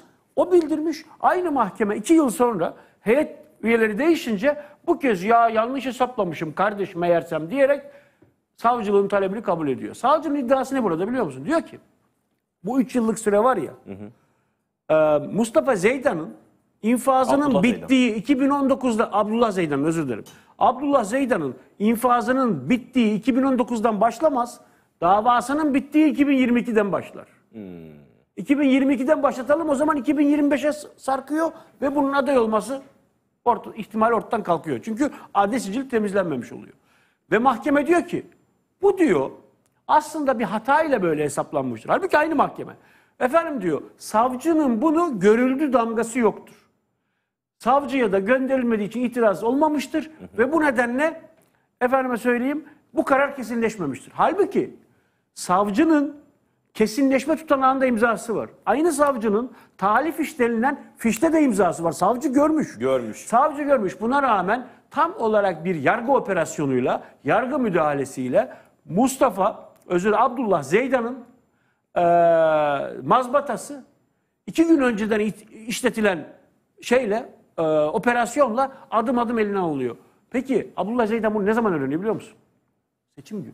Seçim günü öğreniyor. Tabii yani bunu bu seçim günü adam kutlamaları kabul edeceği sırada UYAP'tan Adli Adalet Bakanlığı'ndan gelen mesajla öğreniyor ki Cuma günü operasyona başlanmış aslında ve bunu pazar günü öğreniyor. Adli sicille ilgili işlemi. İnanılmaz. Şimdi bunun üzerine tabii yargı süreci böyle. Çok açık ki kardeşim siz bir yıl önce kesinleşip bitmiş olan bu hukuksal süreçle ilgili bu itilafı varsa eğer bir itilafı e, e, neden seçime iki gün kala farklı idrak ettiniz? Neden kardeşim? Bunu size kim söyledi? Bu durumu böyle olduğunu size kim söyledi? Kim akıl verdi? E, kim akıl verdi? Hangi el müdahale etti de bir yıl önce aslında kesinleşmiş olan bir hesaplamanın hatalı olduğu sonucuna vardınız? Ne oldu kardeşim? Tam da İstanbul seçimiyle ilgili sizin beklentilerinizi dem karşılamadığı için mi Abdullah Zeydan'la ilgili hukuksal meseleyi keşfettiniz? Ya da o zaman siyasi tuzak kurdunuz. Eğer siz bu adam bu adama temiz kağıdı vermeseydiniz. Bu adam YSK'ya başvurduğunda kardeşim senin sicilin bozuk deseydiniz adam aday olmazdı. Tabii. Hem de başka bir aday gösterirdi değil mi? Ama siz beklediniz. İstanbul'dan haber beklediniz. Mustafa Abdullah Zeydan aday olmasını beklediniz. Abdullah Zeydan aday olduğunda buyur sana temiz kağıdı dediniz. Ondan sonra aday olduktan sonra aday olmadan seçimden iki gün önce hemen o e, çünkü başka mesai günü kalmıyor. E, işte e, hızla süreci işleterek Diyarbakır Ağır Ceza Mahkemesi'ne karar aldırıp seçim günü de ona tebliğ ettiniz. Bu çok açık bir biçimde. Vatandaşlara soruyorum ya bu İstanbul'da Ankara'da olsaydı siz ne hissederdiniz? Ne hissederdiniz kardeşim? Kayseri'de Konya'da olsa ne hissederdiniz? Rize'de Erzurum'da olsa. Rize'de Erzurum'daki milli irade, İstanbul Ankara'daki milli irade de Van'daki Diyarbakır'daki değil mi kardeşim? Değil, mi? Yani diyebilirsiniz ki ya bu adam geçmişte şu şu sözü söyledi. Doğru. Yüzde Kabul yüz. edebileceğimiz bir cümle değil. Fakat kardeşim bu kişi Van Belediye Başkanı seçildikten sonraki eylem ve işlemlerine biz bakmalıyız. Ne yapacak? Nasıl kararlar alacak? Efendim Van'a hizmet edecek mi? Yoksa başka bir plan- Bunu seçildikten sonra görebilmeliyiz. Ama sen daha Başta. sandıkta oylar sayılırken, san, sayım bitip adam mazbatasını beklerken siz onun iradesine e, ipotek koymaya çalıştınız. Milli iradeye karşı apaçık saygısızlıkta bulundunuz. Neyse ki, neyse ki muhalefetin güçlü itiraz. Özellikle Van'da Bu topyekun itiraz hali etkili oldu mu? muhalefeti, Tabii oldu. Ve bu YSK'dan döndü. Normalde dönmeyebilirdi. E, Zeydan'ın avukatları itiraz ettiler. İtirazı e, ya bu arada e, orada diğer e, Van İl Seçim Kurulu'nun 3 üye, üç üyesi var. Başkanı da bu karara itiraz ediyor. Böyle olmaz Diyor dedi. ki hayır diyor. Usulü böyle olmaz diyor. Çünkü diyor yani bu en nihayetinde bu bir mahkeme kararı sayılır. Siz bu mahkeme kararını iki yolla kaldırabilirsiniz. Ya Adalet Bakanlığı kanun yararına bozma ister ya da Yargıtay'a temiz yoluna gidersiniz. Böyle kafanıza göre durup dururken bu karar kaldıramazsınız. Ama niye? Vakit yok. O yola gidecek kadar vakit yok. Hızla bu işlemi yapmak zorundalar. Ve dolayısıyla diyor ki ben bunu şimdi kaldırsam bile bu Yargıtay temizine açık.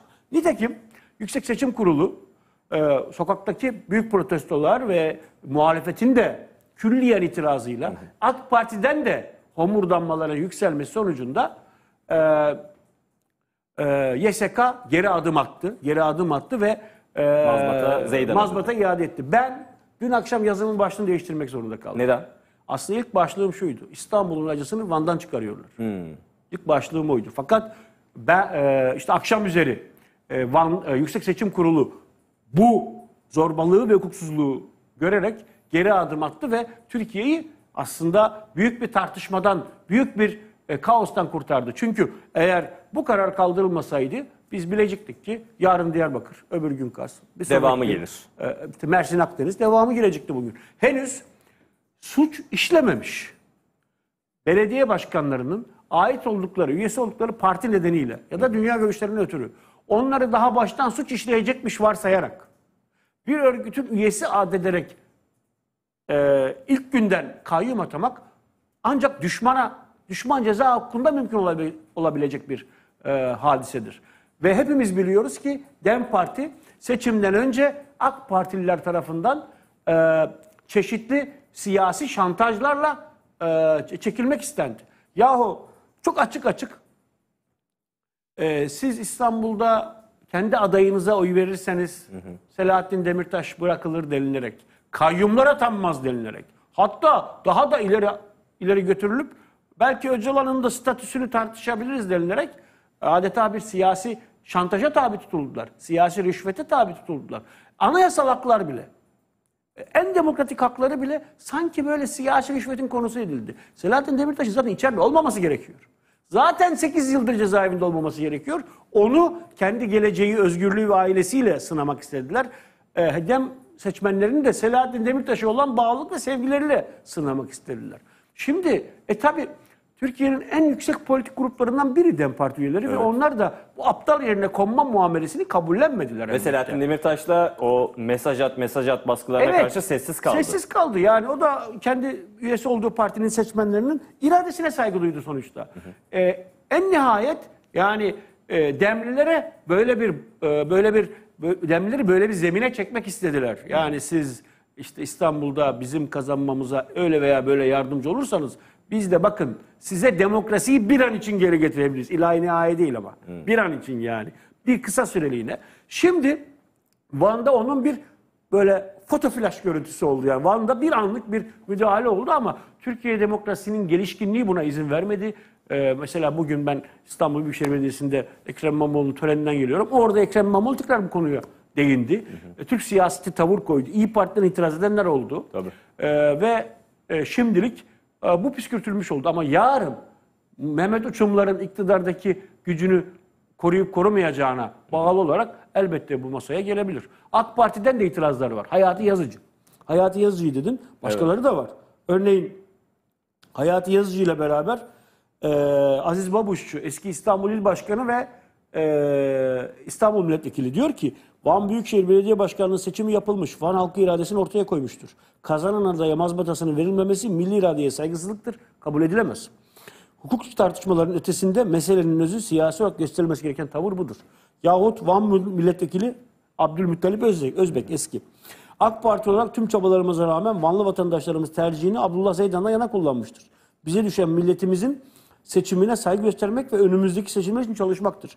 Adını, aileni, tüm Vanlıları düşünerek bu karardan bir an önce vazgeçmeni dilerim. Bir de ben okuyayım. Orhan Atalay'dan da gelmiş. Adalet ve Kalkınma Evet. Partisi eski milletvekili. Ruh ve mana kaybını, partimizdeki ruh ve mana kaybını önlemenin ilk düğmesi milletin evinden millete sallanan parmağı kesip atmakla olur.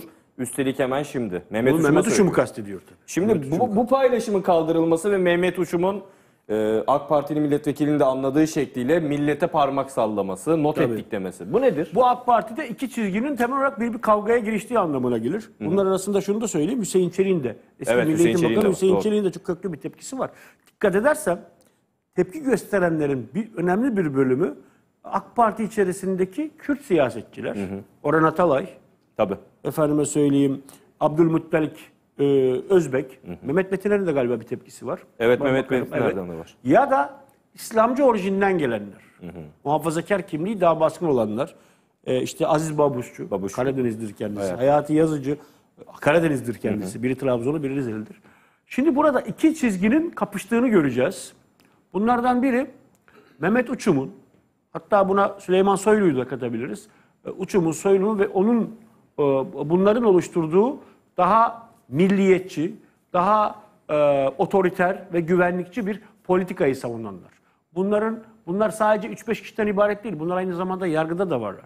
Yani özellikle yargıda e, işte e, Anayasa Mahkemesi'nde, e, Yargıtay'da, ağır ceza mahkemelerinde, terör mahkemelerinde e, bu milliyetçi, güvenlikçi hattı savunan, devletçi, milliyetçi, güvenlikçi hattı savunan e, ve bu uğurda hukuku da askıya almayı önerebilen e, bir politik hat, hukuk sonra da gelsin diyebilen bir politik hat e, AK Parti'de damar olarak varlığını koruyor. Bu hattı peki MHP ile yapılan ittifaktan bağımsız mı okumalıyız? Onunla da beraber okumak Değil mi? lazım. Onunla da ilişki halinde görmek lazım. Ben AK Parti içerisindeki hattı söyledim ama elbette ki MHP ile temas halinde bir hat bu. Ve bu hat örneğin işte 2017 yılındaki anayasa referandumunu da hazırlayan hat. Yani Mehmet Uçum'un ruhu o anayasa metninde de yansımış durumda. Yahut işte e, e, hatırlarsan Ekrem İmamoğlu'na 2022 sonunda verilen e, cezada Ceza da kararı. o ruh etkili oldu. Yani o cezayı ilk savunan Mehmet Uçum oldu.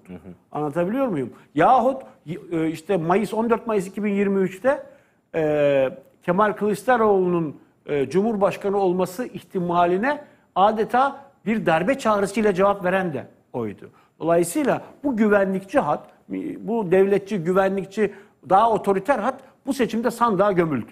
Zaten bu seçimin en önemli özelliği e, bütün e, milliyetçi ve dini hamasetin sandığa gömülmüş olması. Ve bununla da e, ilişkili olarak iktidarda ve muhalefette var olan milliyetçi partilerde de oy kaybı meydana geldi. O noktada bu hat her ne kadar şimdi parmak sallıyor olsa da not ediyoruz dese de bence eski gücünde değil. Biliyorlar mı eski gücünde olmadığını farkındalar Yani mı? şimdi mesela Süleyman Soylu. Süleyman Soylu gittiği seçim çalışması gittiği için her yeri kay- gittiği her yeri kaybetti. Gazi Os- Eyüp'te çalışma yürüttü. Eyüp'ü CHP aldı. Ee, Gazi Osman Paşa kendi ilçesi Gazi Osman çalışma yürüttü. Gazi Osman Paşa'yı kaybetti. Ee, şehir dışında Afyon'a ziyarete gitti. Afyon'da kaybetti. Yani bu zaten Mehmet Uçum'un öyle bir yani siyasi fonksiyonu da yok. Ancak Cumhurbaşkanı'nın hukuk istişareli kurulu üyesi olmasından kaynaklı bir güce dayanarak konuşuyor. Yoksa Mehmet Uçum'u kim tanır kim bilir. Mehmet Uçum'un ya cürmü ne ki? Ee, yani e, tesirinden bahsedelim. Siyasi bir e, varlığından da ağırlığına söz edemeyiz. Ancak Cumhurbaşkanı'nın gücünden kaynaklanan bir otoriteden bahsedebiliriz. Şimdi o da zaten AK Parti'nin geri kalanı tarafından mesele haline getirildi. Çünkü AK Parti'de bugün yüksek sesle konuşulanlardan biri de neden biz kendi e, siyasi özümüzden uzaklaştık? İkinci kısma geçiyorum. Hani Hayati Yazıcı, efendim Ozan Atalay ve diğer isimler. Bunlar ise daha İslamik orijinden gelen e, ve işte kimi demokratik açılımları hukuki e, yani Türkiye'nin hukuka e, nispeten geri dönmesini arzulayan ama aynı şekilde ve bununla bağlantılı şekilde e, Kürt sorununda da daha e, güvenlikçi politikadan uzak, daha özgürlükçü bir Ilıman, yol, vicdanlı. ılımlı bir yol öneren bir model. Bunlar aynı zamanda dediğim üzere ya Kürt ya AK Partili Kürtler, AK Kürtler ya da e, muhafazakar milli, e, İslamcı Kürtler. Bunlar ise bu dönemde e, güçlerini arttırabilirler. Bu, bu e, siyasetin ağırlık merkezi buraya doğru kayabilir. Bu AK Parti'nin ihtiyaçlarından da olabilir. Bu yeniden refah baskısından da olabilir. Bu Kürtlerle bir yol, bir uzlaşma arayışından da olabilir. Çünkü bugün AK Parti'nin tartıştığı bazı meseleler var. Onlardan biri kimliğimizden uzaklaşıyoruz. Mesela AK Parti'nin giderek milliyetçi bir parti olmasından e, ra- hoşnut değiller bazıları. Hatta örneğin Murat Kurum'un veda konuşmasında Atatürk vurgusunda bulunması, Tabii. Antalya e, belediye başkanının benim Atatürkçülüğüm tartışılmaz şeklinde ifadeler kullanması AK Parti'nin bu kadarını rahatsız ediyor mesela. E biz bu kadar Atatürkçü değiliz ki yani biz CHP standartında bir Atatürkçü değiliz ki olmadığımız bir kimliği ilan edelim. Minvalinde bir tartışma var. Bir diğeri de Kürtleri CHP'ye kaptırdık.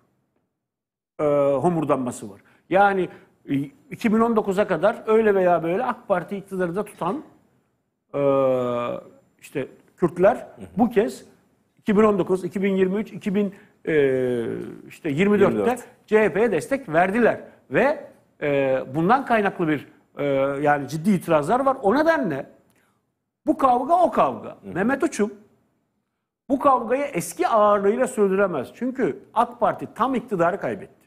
AK Parti topal ördek. Artık ikinci parti. AK Parti 10 ay önce milliyetçi ve güvenlikçi politikalarla ya da ve, ve başkaca ekonomisiyle. manipülasyonlarla %52 oranında destek aldığı milletin güven oyunu 10 ay sonra kaybetti. Bugün Türkiye'nin birinci partisi Cumhuriyet Halk Partisi'dir.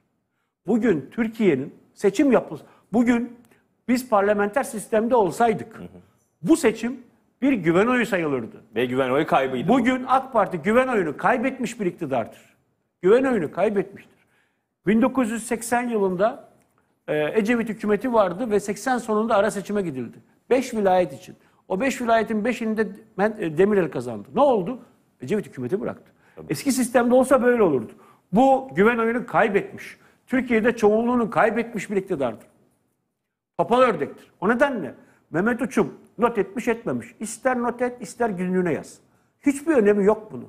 Çünkü siz haritada Türkiye haritasını geniş açtığınızda İç Anadolu'ya ve Karadeniz'in bazı yörelerine sıkışmış bir partisiniz. Biraz Rize, Trabzon arası. Belediye başkanlıkları biraz batıda, görelim işte arkadaşlar. Samsun e, hattında. Yani o bölge. İç Anadolu'da da Konya ve civarında. Daha geniş açtığında aslında daha daha dar alanda olduğunu görülüyor. O nedenle AK Parti toplumun geri kalanıyla kavga ederek değil, ancak onların rızasını alarak iktidarını koruyabilir.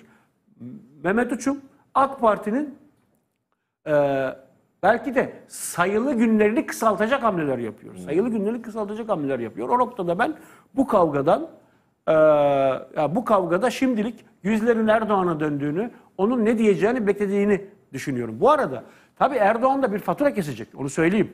Kime Erdoğan- kesecek Tabii faturayı? onu söyleyeyim. Birincisi siyasi işlerden siyasi ve hukuki, hukuki işlerden sorumlu başkan e, Hayati Yazıcı. İlk kellesi gidecek insanlardan biri olabilir. İkincisi e, seçim işlerinden sorumlu yetkili İhsan Yavuz. Ali İhsan Yavuz. İki numarada o. Üç numarada yerel yönetimlerden sorumlu yetkili Yusuf Ziya Yılmaz. Özellikle bu üçü AK Parti'de e, topun ağzında diyebilirim. Teşkilat Başkanı Erkan Kandemir. Genel Başkan Yardımcısı Fatih Şahin. E, bu isimler e, Bu aynı zamanda... sorumlusu mu ilan ediliyorlar? Evet, evet. Bu isimler aynı zamanda seçimden önceki Eylül-Ekim Ekim ayındaki son AK Parti kurultayında AK Parti'nin vitrinini ve A takımını kuran ekip. Fatih Şahin, eee, Erkan Kandemir ve Hamza da Hamza da adaydı yani ona yapacak bir şey yok. Adaydı. Ama diğer iki isim e, ve sıraladım. Hayati Yazıcı, eee, e, Ali İhsan Yavuz ve Yusuf Ziya Yılmaz. eee, Erkan Kandemir. eee, Erkan Kandemir ilk akla gelen isimler. Bir virgül koyalım. Efkan Ala'yı da unutmayayım. Efkan Ala. Peki. Dönüşte önemli meseleler Bakanları da konuşacağız. söyleyeceğim. Tabii tabii. Ankara Büyükşehir Belediye Başkanı Mansur Yavaş bir kulak verelim mi? Ayrıca çok çok teşekkür ediyorum. Haklarını onlar da helal etsinler inşallah. Evet değerli yoldaşımlar. Sağ olun. Sevgili yoldaşımlar.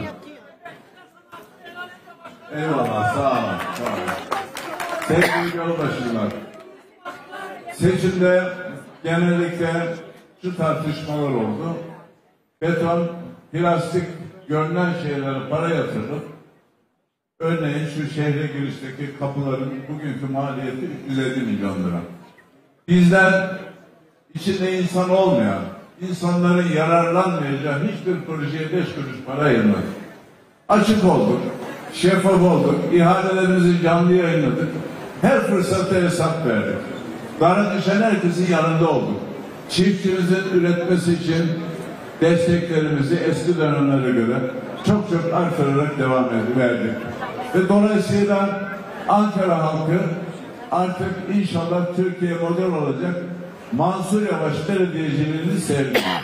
Biz de hep şunu söyledik. Dedi ki maalesef bizim belediye başkanlarımızın birçoğu ilk seçildiğinde meclisin ilk günü canlı yayınlanırken sevgili hemşehrilerim, sevgili belediye başkanları Ankara halkı beni seçti, ilçelerde de sizi seçti. Bu saatten sonra seçim bitmiştir. El ele verip çalışmamız gerekiyor. Hangi belediye başkanımız kendi ilçesiyle ilgili istihdam yaratan, üretimi artıracak, oraya kazan sağlayacak bir proje getirirse ben Büyükşehir Belediyesi olarak yapayım. Beraber temelini atalım, açılışını yapalım. Hatta gerekiyorsa siz işletin dedim. Ama maalesef hiçbir belediye başkanı gelmedi. Ve bunları şikayet ettim çünkü benden bir şey istemeyenler kaybetti. Bir iki belediye başkanı talep oldu, anında yerine getirildi. Ve bu şikayet sonucu bugün üç belediyemiz varken şu anda Ankara'da tam 16 tane belediyemiz var. Evet. Biz öncelikle 16 belediye başkanı olarak el ele verip birlik beraberlik içerisinde geçen dönem bizden talep edilmeyen hizmetlerin hepsini inşallah yapacağız. Ve evet yapacağız. Çünkü benim de son dönemim inşallah hep birlikte el ele veren belediye başkanlarıyla birlikte çalışacağız. Bir diğer konu şu çağrıyı tekrar yapıyorum. 8 belediye başkanı farklı partiden seçildi. Oralarda da o benim oy oranım oldukça yüksek. Az bir farkla seçildiler ama sandık sonucuna hepimiz saygı duyuyoruz. Yine aynısını söyleyeceğim. Diyeceğim ki 8 belediye başkanı bir de bağımsız belediye başkanı 9 belediye başkanlar. Seçim bitmiştir. Halk kararını vermiştir. Dolayısıyla bize düşen artık belediye meclisinde kavga gürültü değil el ele verip 25 belediye başkanı Ankara halkının tamamına hizmet edelim teklifini yapacağım. İnşallah elimizden tutarlar. Elimizden tutarlarsa onlar da kazanır, Ankara da kazanır. Ama elimizden tutmazlarsa, elimizden tutmayan, mecliste bize en fazla zorluk çıkan belediye başkanları nerede biliyor musunuz? Hiçbiri yok. Hiçbirisi yok yani. Bundan ders almışlardır. Bir diğer söyleyeceğim. Yol başında rakip partilere çalışan seçmenlere. Sizlerin de takdirine saygımız sonsuz. Siz tercihlerinizi diğer arkadaşlar yönünde kullandınız. Ama çoğunluk bu şekilde tezahür, et, tez, tezahür ettiğine göre sizlere de saygı duyuyoruz. Asla rakip görmüyoruz. Belki dün rakiptik ama şimdi refik yani yol arkadaşı olmaya hazırız. Gelin beraber çalışalım. Yol başına beraber hizmet edelim. Evet. Bizim belediyemizin anlayışımız budur. Geçen dönem öyle yaptık ve gerçekten Ankara halkı bunu takdir etti. Bir diğer seslenişim bizleri izleyen personellere, değerli gölbaşı çalışanları asla tedirgin olmayınız. Yakup Odabaşı da seçimde söz verdi. Ben de arkasında durdum. Hiçbiriniz işinizden olmayacaksınız. Bunu bilin. Bizler sizleri bir aile, bir mesai arkadaşı olarak görüyoruz. Dolayısıyla işinin hakkını veren alın terinin karşılığını mutlaka alacaktır. Yeter ki işleri sabote etmesin. Hep beraber çalışılacak ve inşallah yolbaşı artık bundan sonra Ankara Büyükşehir'le el ele vermek suretiyle ne eksiğimiz varsa bir an önce biraz daha yol başına destek olmak suretiyle şimdiki durumun üstüne çıkartmak hepimizin boynumuzun borcu. Bu nedenle ben bütün yol başına bizim seçimlerde anlattıklarımıza güvenip inanıp Yakup Başkanım zaten buraların yabancısı değil. Görevinin de yabancısı değil. Oturur oturmaz bismillah çekip işine başlayacak. Dolayısıyla inşallah hiç kimseyi ayırmadan gayet güzel bir şekilde birleştirici bir şekilde hizmet edeceğinizden emin olun. Ben başarılı olacağımıza inanıyorum. Yakup Başkan da başarılı olacağına inanıyoruz. Ve tüm yolbaşına bu takdirlerinden dolayı sevgili saygılarımı sunuyorum. Hayırlı uğurlu olsun diyorum. Yakup Başkan'ı da tekrar tebrik ediyorum huzurlarınızda. İnşallah el ele verip güzel işler yapacağız. Tekrar tekrar emek veren herkese, gizli kahramanlara, ilçede görev alanlara, gönüllülere sonsuz teşekkür ediyor, saygılar sunuyorum. Allah mahcup etmesin. Ankara Büyükşehir Belediye Başkanı Mansur Yavaş da mazbata törenlerine katılıyor. Çünkü orada da ilçenin ağırlığı değişti efendim. Belediye meclis çoğunluğunu kazandı. İstanbul'da olduğu gibi Ankara'da da ezici bir çoğunluk var artık. Bakalım neler olacak, hangi vaatler, hangi projeler kayda geçecek. Kurma heyetiyle birlikte bugün ilçe ilçe gezecek Mansur Yavaş da bunları almak üzere. Biz şimdi Adalet ve Kalkınma Partisi'nde hani hesap sorma, kimse sorumsuzca davranamaz dedi ya Sayın Cumhurbaşkanı. 5-6 isim saydı. Seçim işlerinden sorumlu olanları saydı. Bu dönemde görevlendirilen kurmayları saydı İsmail Saymaz. Bir de bakanlardan bahsedeceğim dedi. Tam o esnada Mansur Yavaş konuşmaya başladı. Dönmek durumundaydık, virgül koyduk. Hangi Şimdi- bakanlara hesap sorulacak? Şimdi tabii geçen gün Sayın Cumhurbaşkanı MYK'sını topladı ve MYK'da tabii herkes bunun bir sorumlusunu arıyordu ve ilk akla gelen de Mehmet Şimşek'ti. Mehmet Şimşek'i de Cumhurbaşkanı sorulara cevap verdiği toplantıya çağırmış. Aslında Mehmet Şimşek bir önceki yani 14 Mayıs önceki seçim ekonomisinde perişan edilen eee, ve önüne getirilen ekonomiyi topladığını düşünüyor. Diyor ki ya bu benim kabahatim değil ki siz benden önce geldiniz. Görevi alırken bile söyledi Evet, evet siz geldiniz e, ve burayı perişan ettiniz. Yani işte kur korumalı mevduat ile, efendim hazine garantili ödemelerle, e, seçim ekonomisiyle ve e, büyük bir israfla hazine delik deşik oldu ve ben bunu bildiğim geleneksel IMF'siz IMF politikalarıyla bunu toparlıyorum. Bunun için de yapacakları da ne? Harcamaların kısılması ve vergilerin arttırılması. İkisinin de doğal hedefi kim? Emekçiler, asgari ücretliler, emekliler, dar gelirliler. Ee, vergileri arttırdığında da onun e, onun ev sofrasından ekmek eksiliyor. Efendim harcamayı kıstığında da Cebinden ona zam çıkıyor. yapmıyorsun. Enflasyon yükseliyor, onun alım gücü düşüyor. Dolayısıyla bir mefesiz mefe politikası.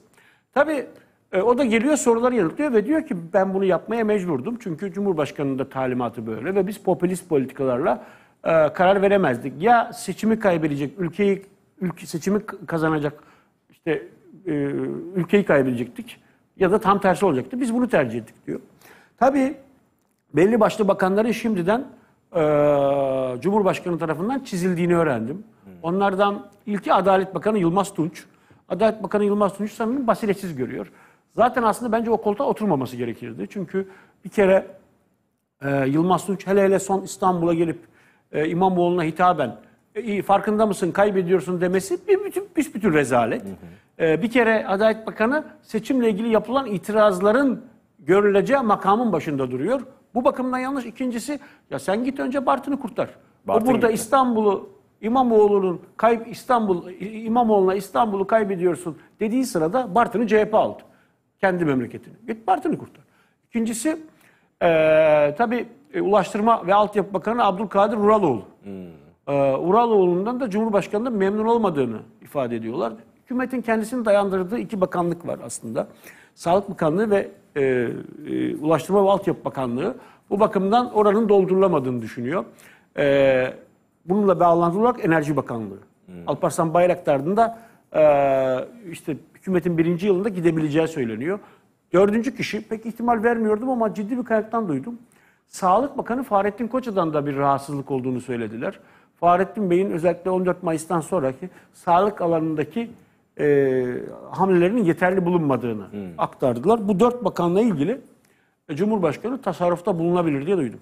Peki. Şimdi hızlı hızlı birkaç soru sorayım. Ee, yeni dönemin şifreleri a, ikinci parti olarak yorumladınız da bir de birinci partinin perspektifinden yorumlar mısınız demiş. Ne beklersin? CHP'nin birinci parti performansı ne olacak? Daha önce olmayan ne göreceğiz? Şimdi bir kere Cumhuriyet Halk Partisi artık bir merkez parti.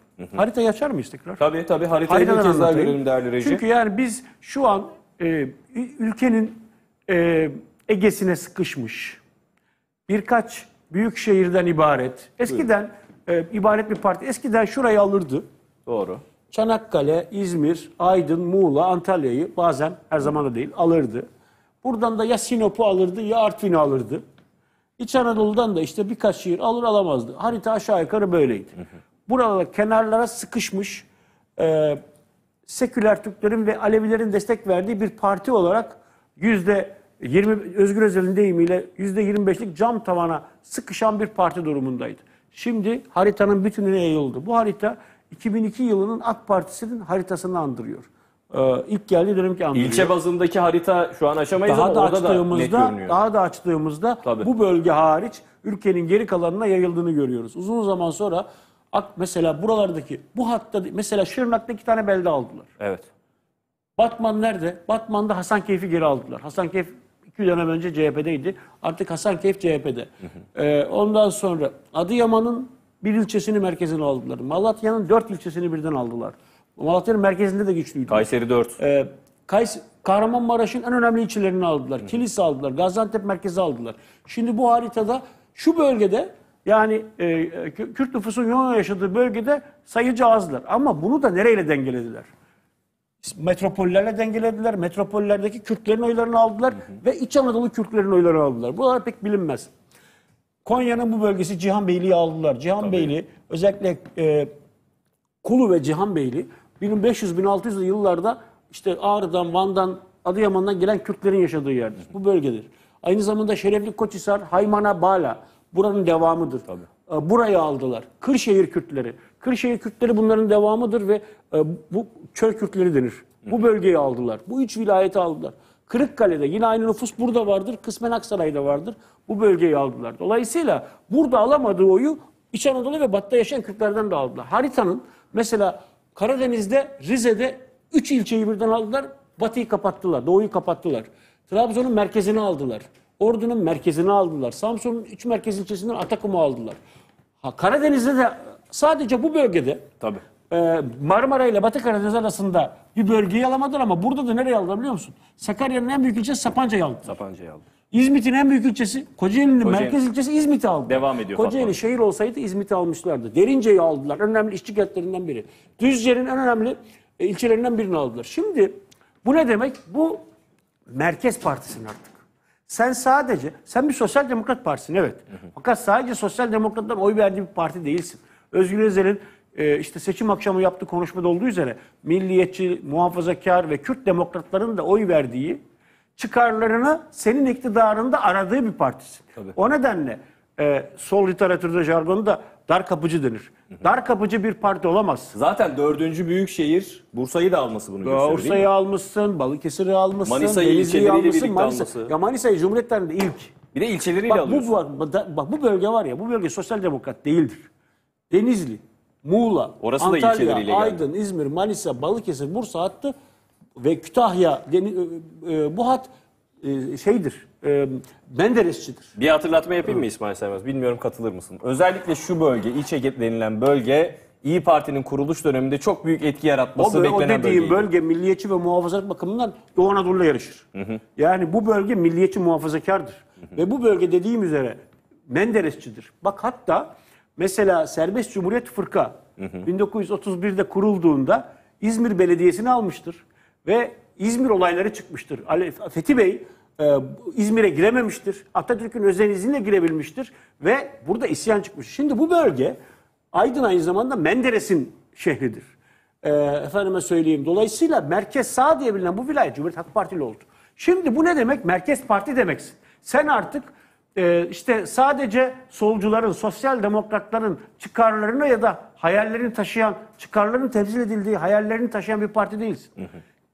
Ee, bütün toplum kesimlerinden etnik kimliğiyle, inancıyla, aidiyetiyle hepsini içeren, içermesi gereken hepsinden beslenen ve kendisini herkese açan bir parti olmak zorundasın. Bu ana kadar CHP kabul etmek gerekir ki kapısı bacası aylardır açılmamış parti gibiydi. Şimdi temiz hava giriyor. Te- teneffüs, teneffüs edilebiliyor. O, net- o noktada derisini atıyor. Bunu da söyleyebiliriz. Ve bu bir fırsat. Toplum bir fırsatı vermiş. 77'den sonra ilk kez vermiş.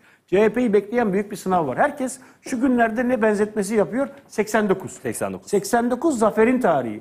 Bir de onun 94'ü var. Tabii. 94 de yıkımın tarihidir. 84'te sevindiniz ama 94'ten beri CHP'nin anası ağlıyor. Niçin? Çünkü 94'te İSKİ'deki bir beceriksizlik CHP'nin 30 yılında mal oldu. Şimdi Cumhuriyet Halk Partisi'nin önünde koca bir Türkiye var. Son bir dakika. Kilis var. Efendime söyleyeyim Kırşehir var. Mersin var, Artvin var, Ardahan var, Bilecik var, Afyon var.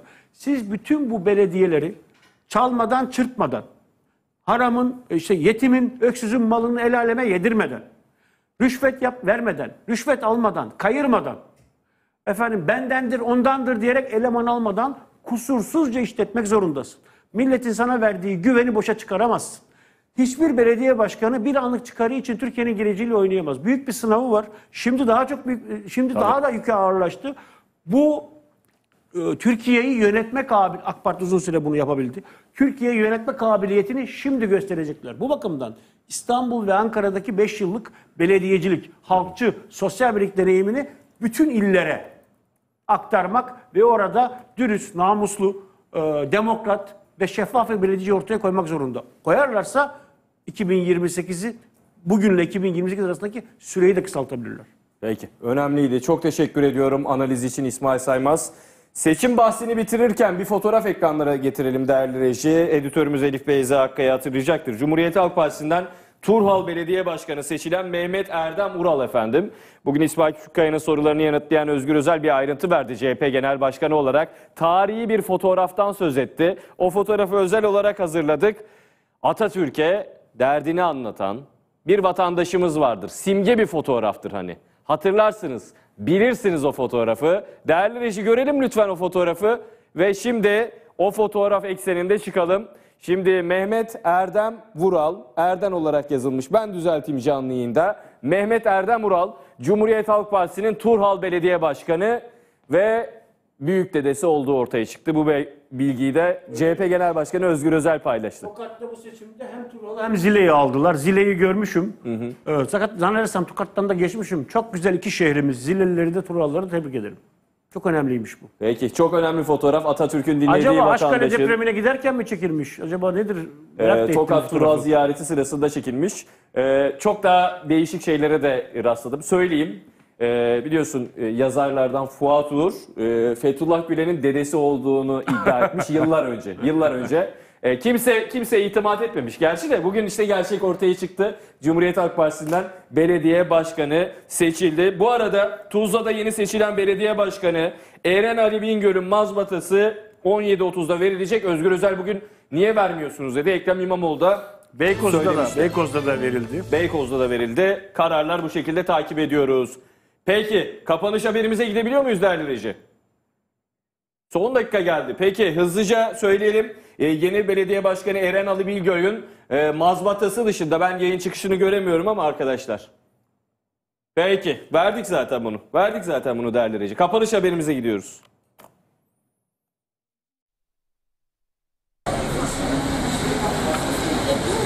Benim oğlum bu şekilde ölmeyi hak etmedi. Serhat Kahyaoğlu 37 yaşındaydı. Pazar günü İstanbul Aksaray'da gözaltına alındı. İddiaya göre polisler tarafından işkence edilerek öldürüldü.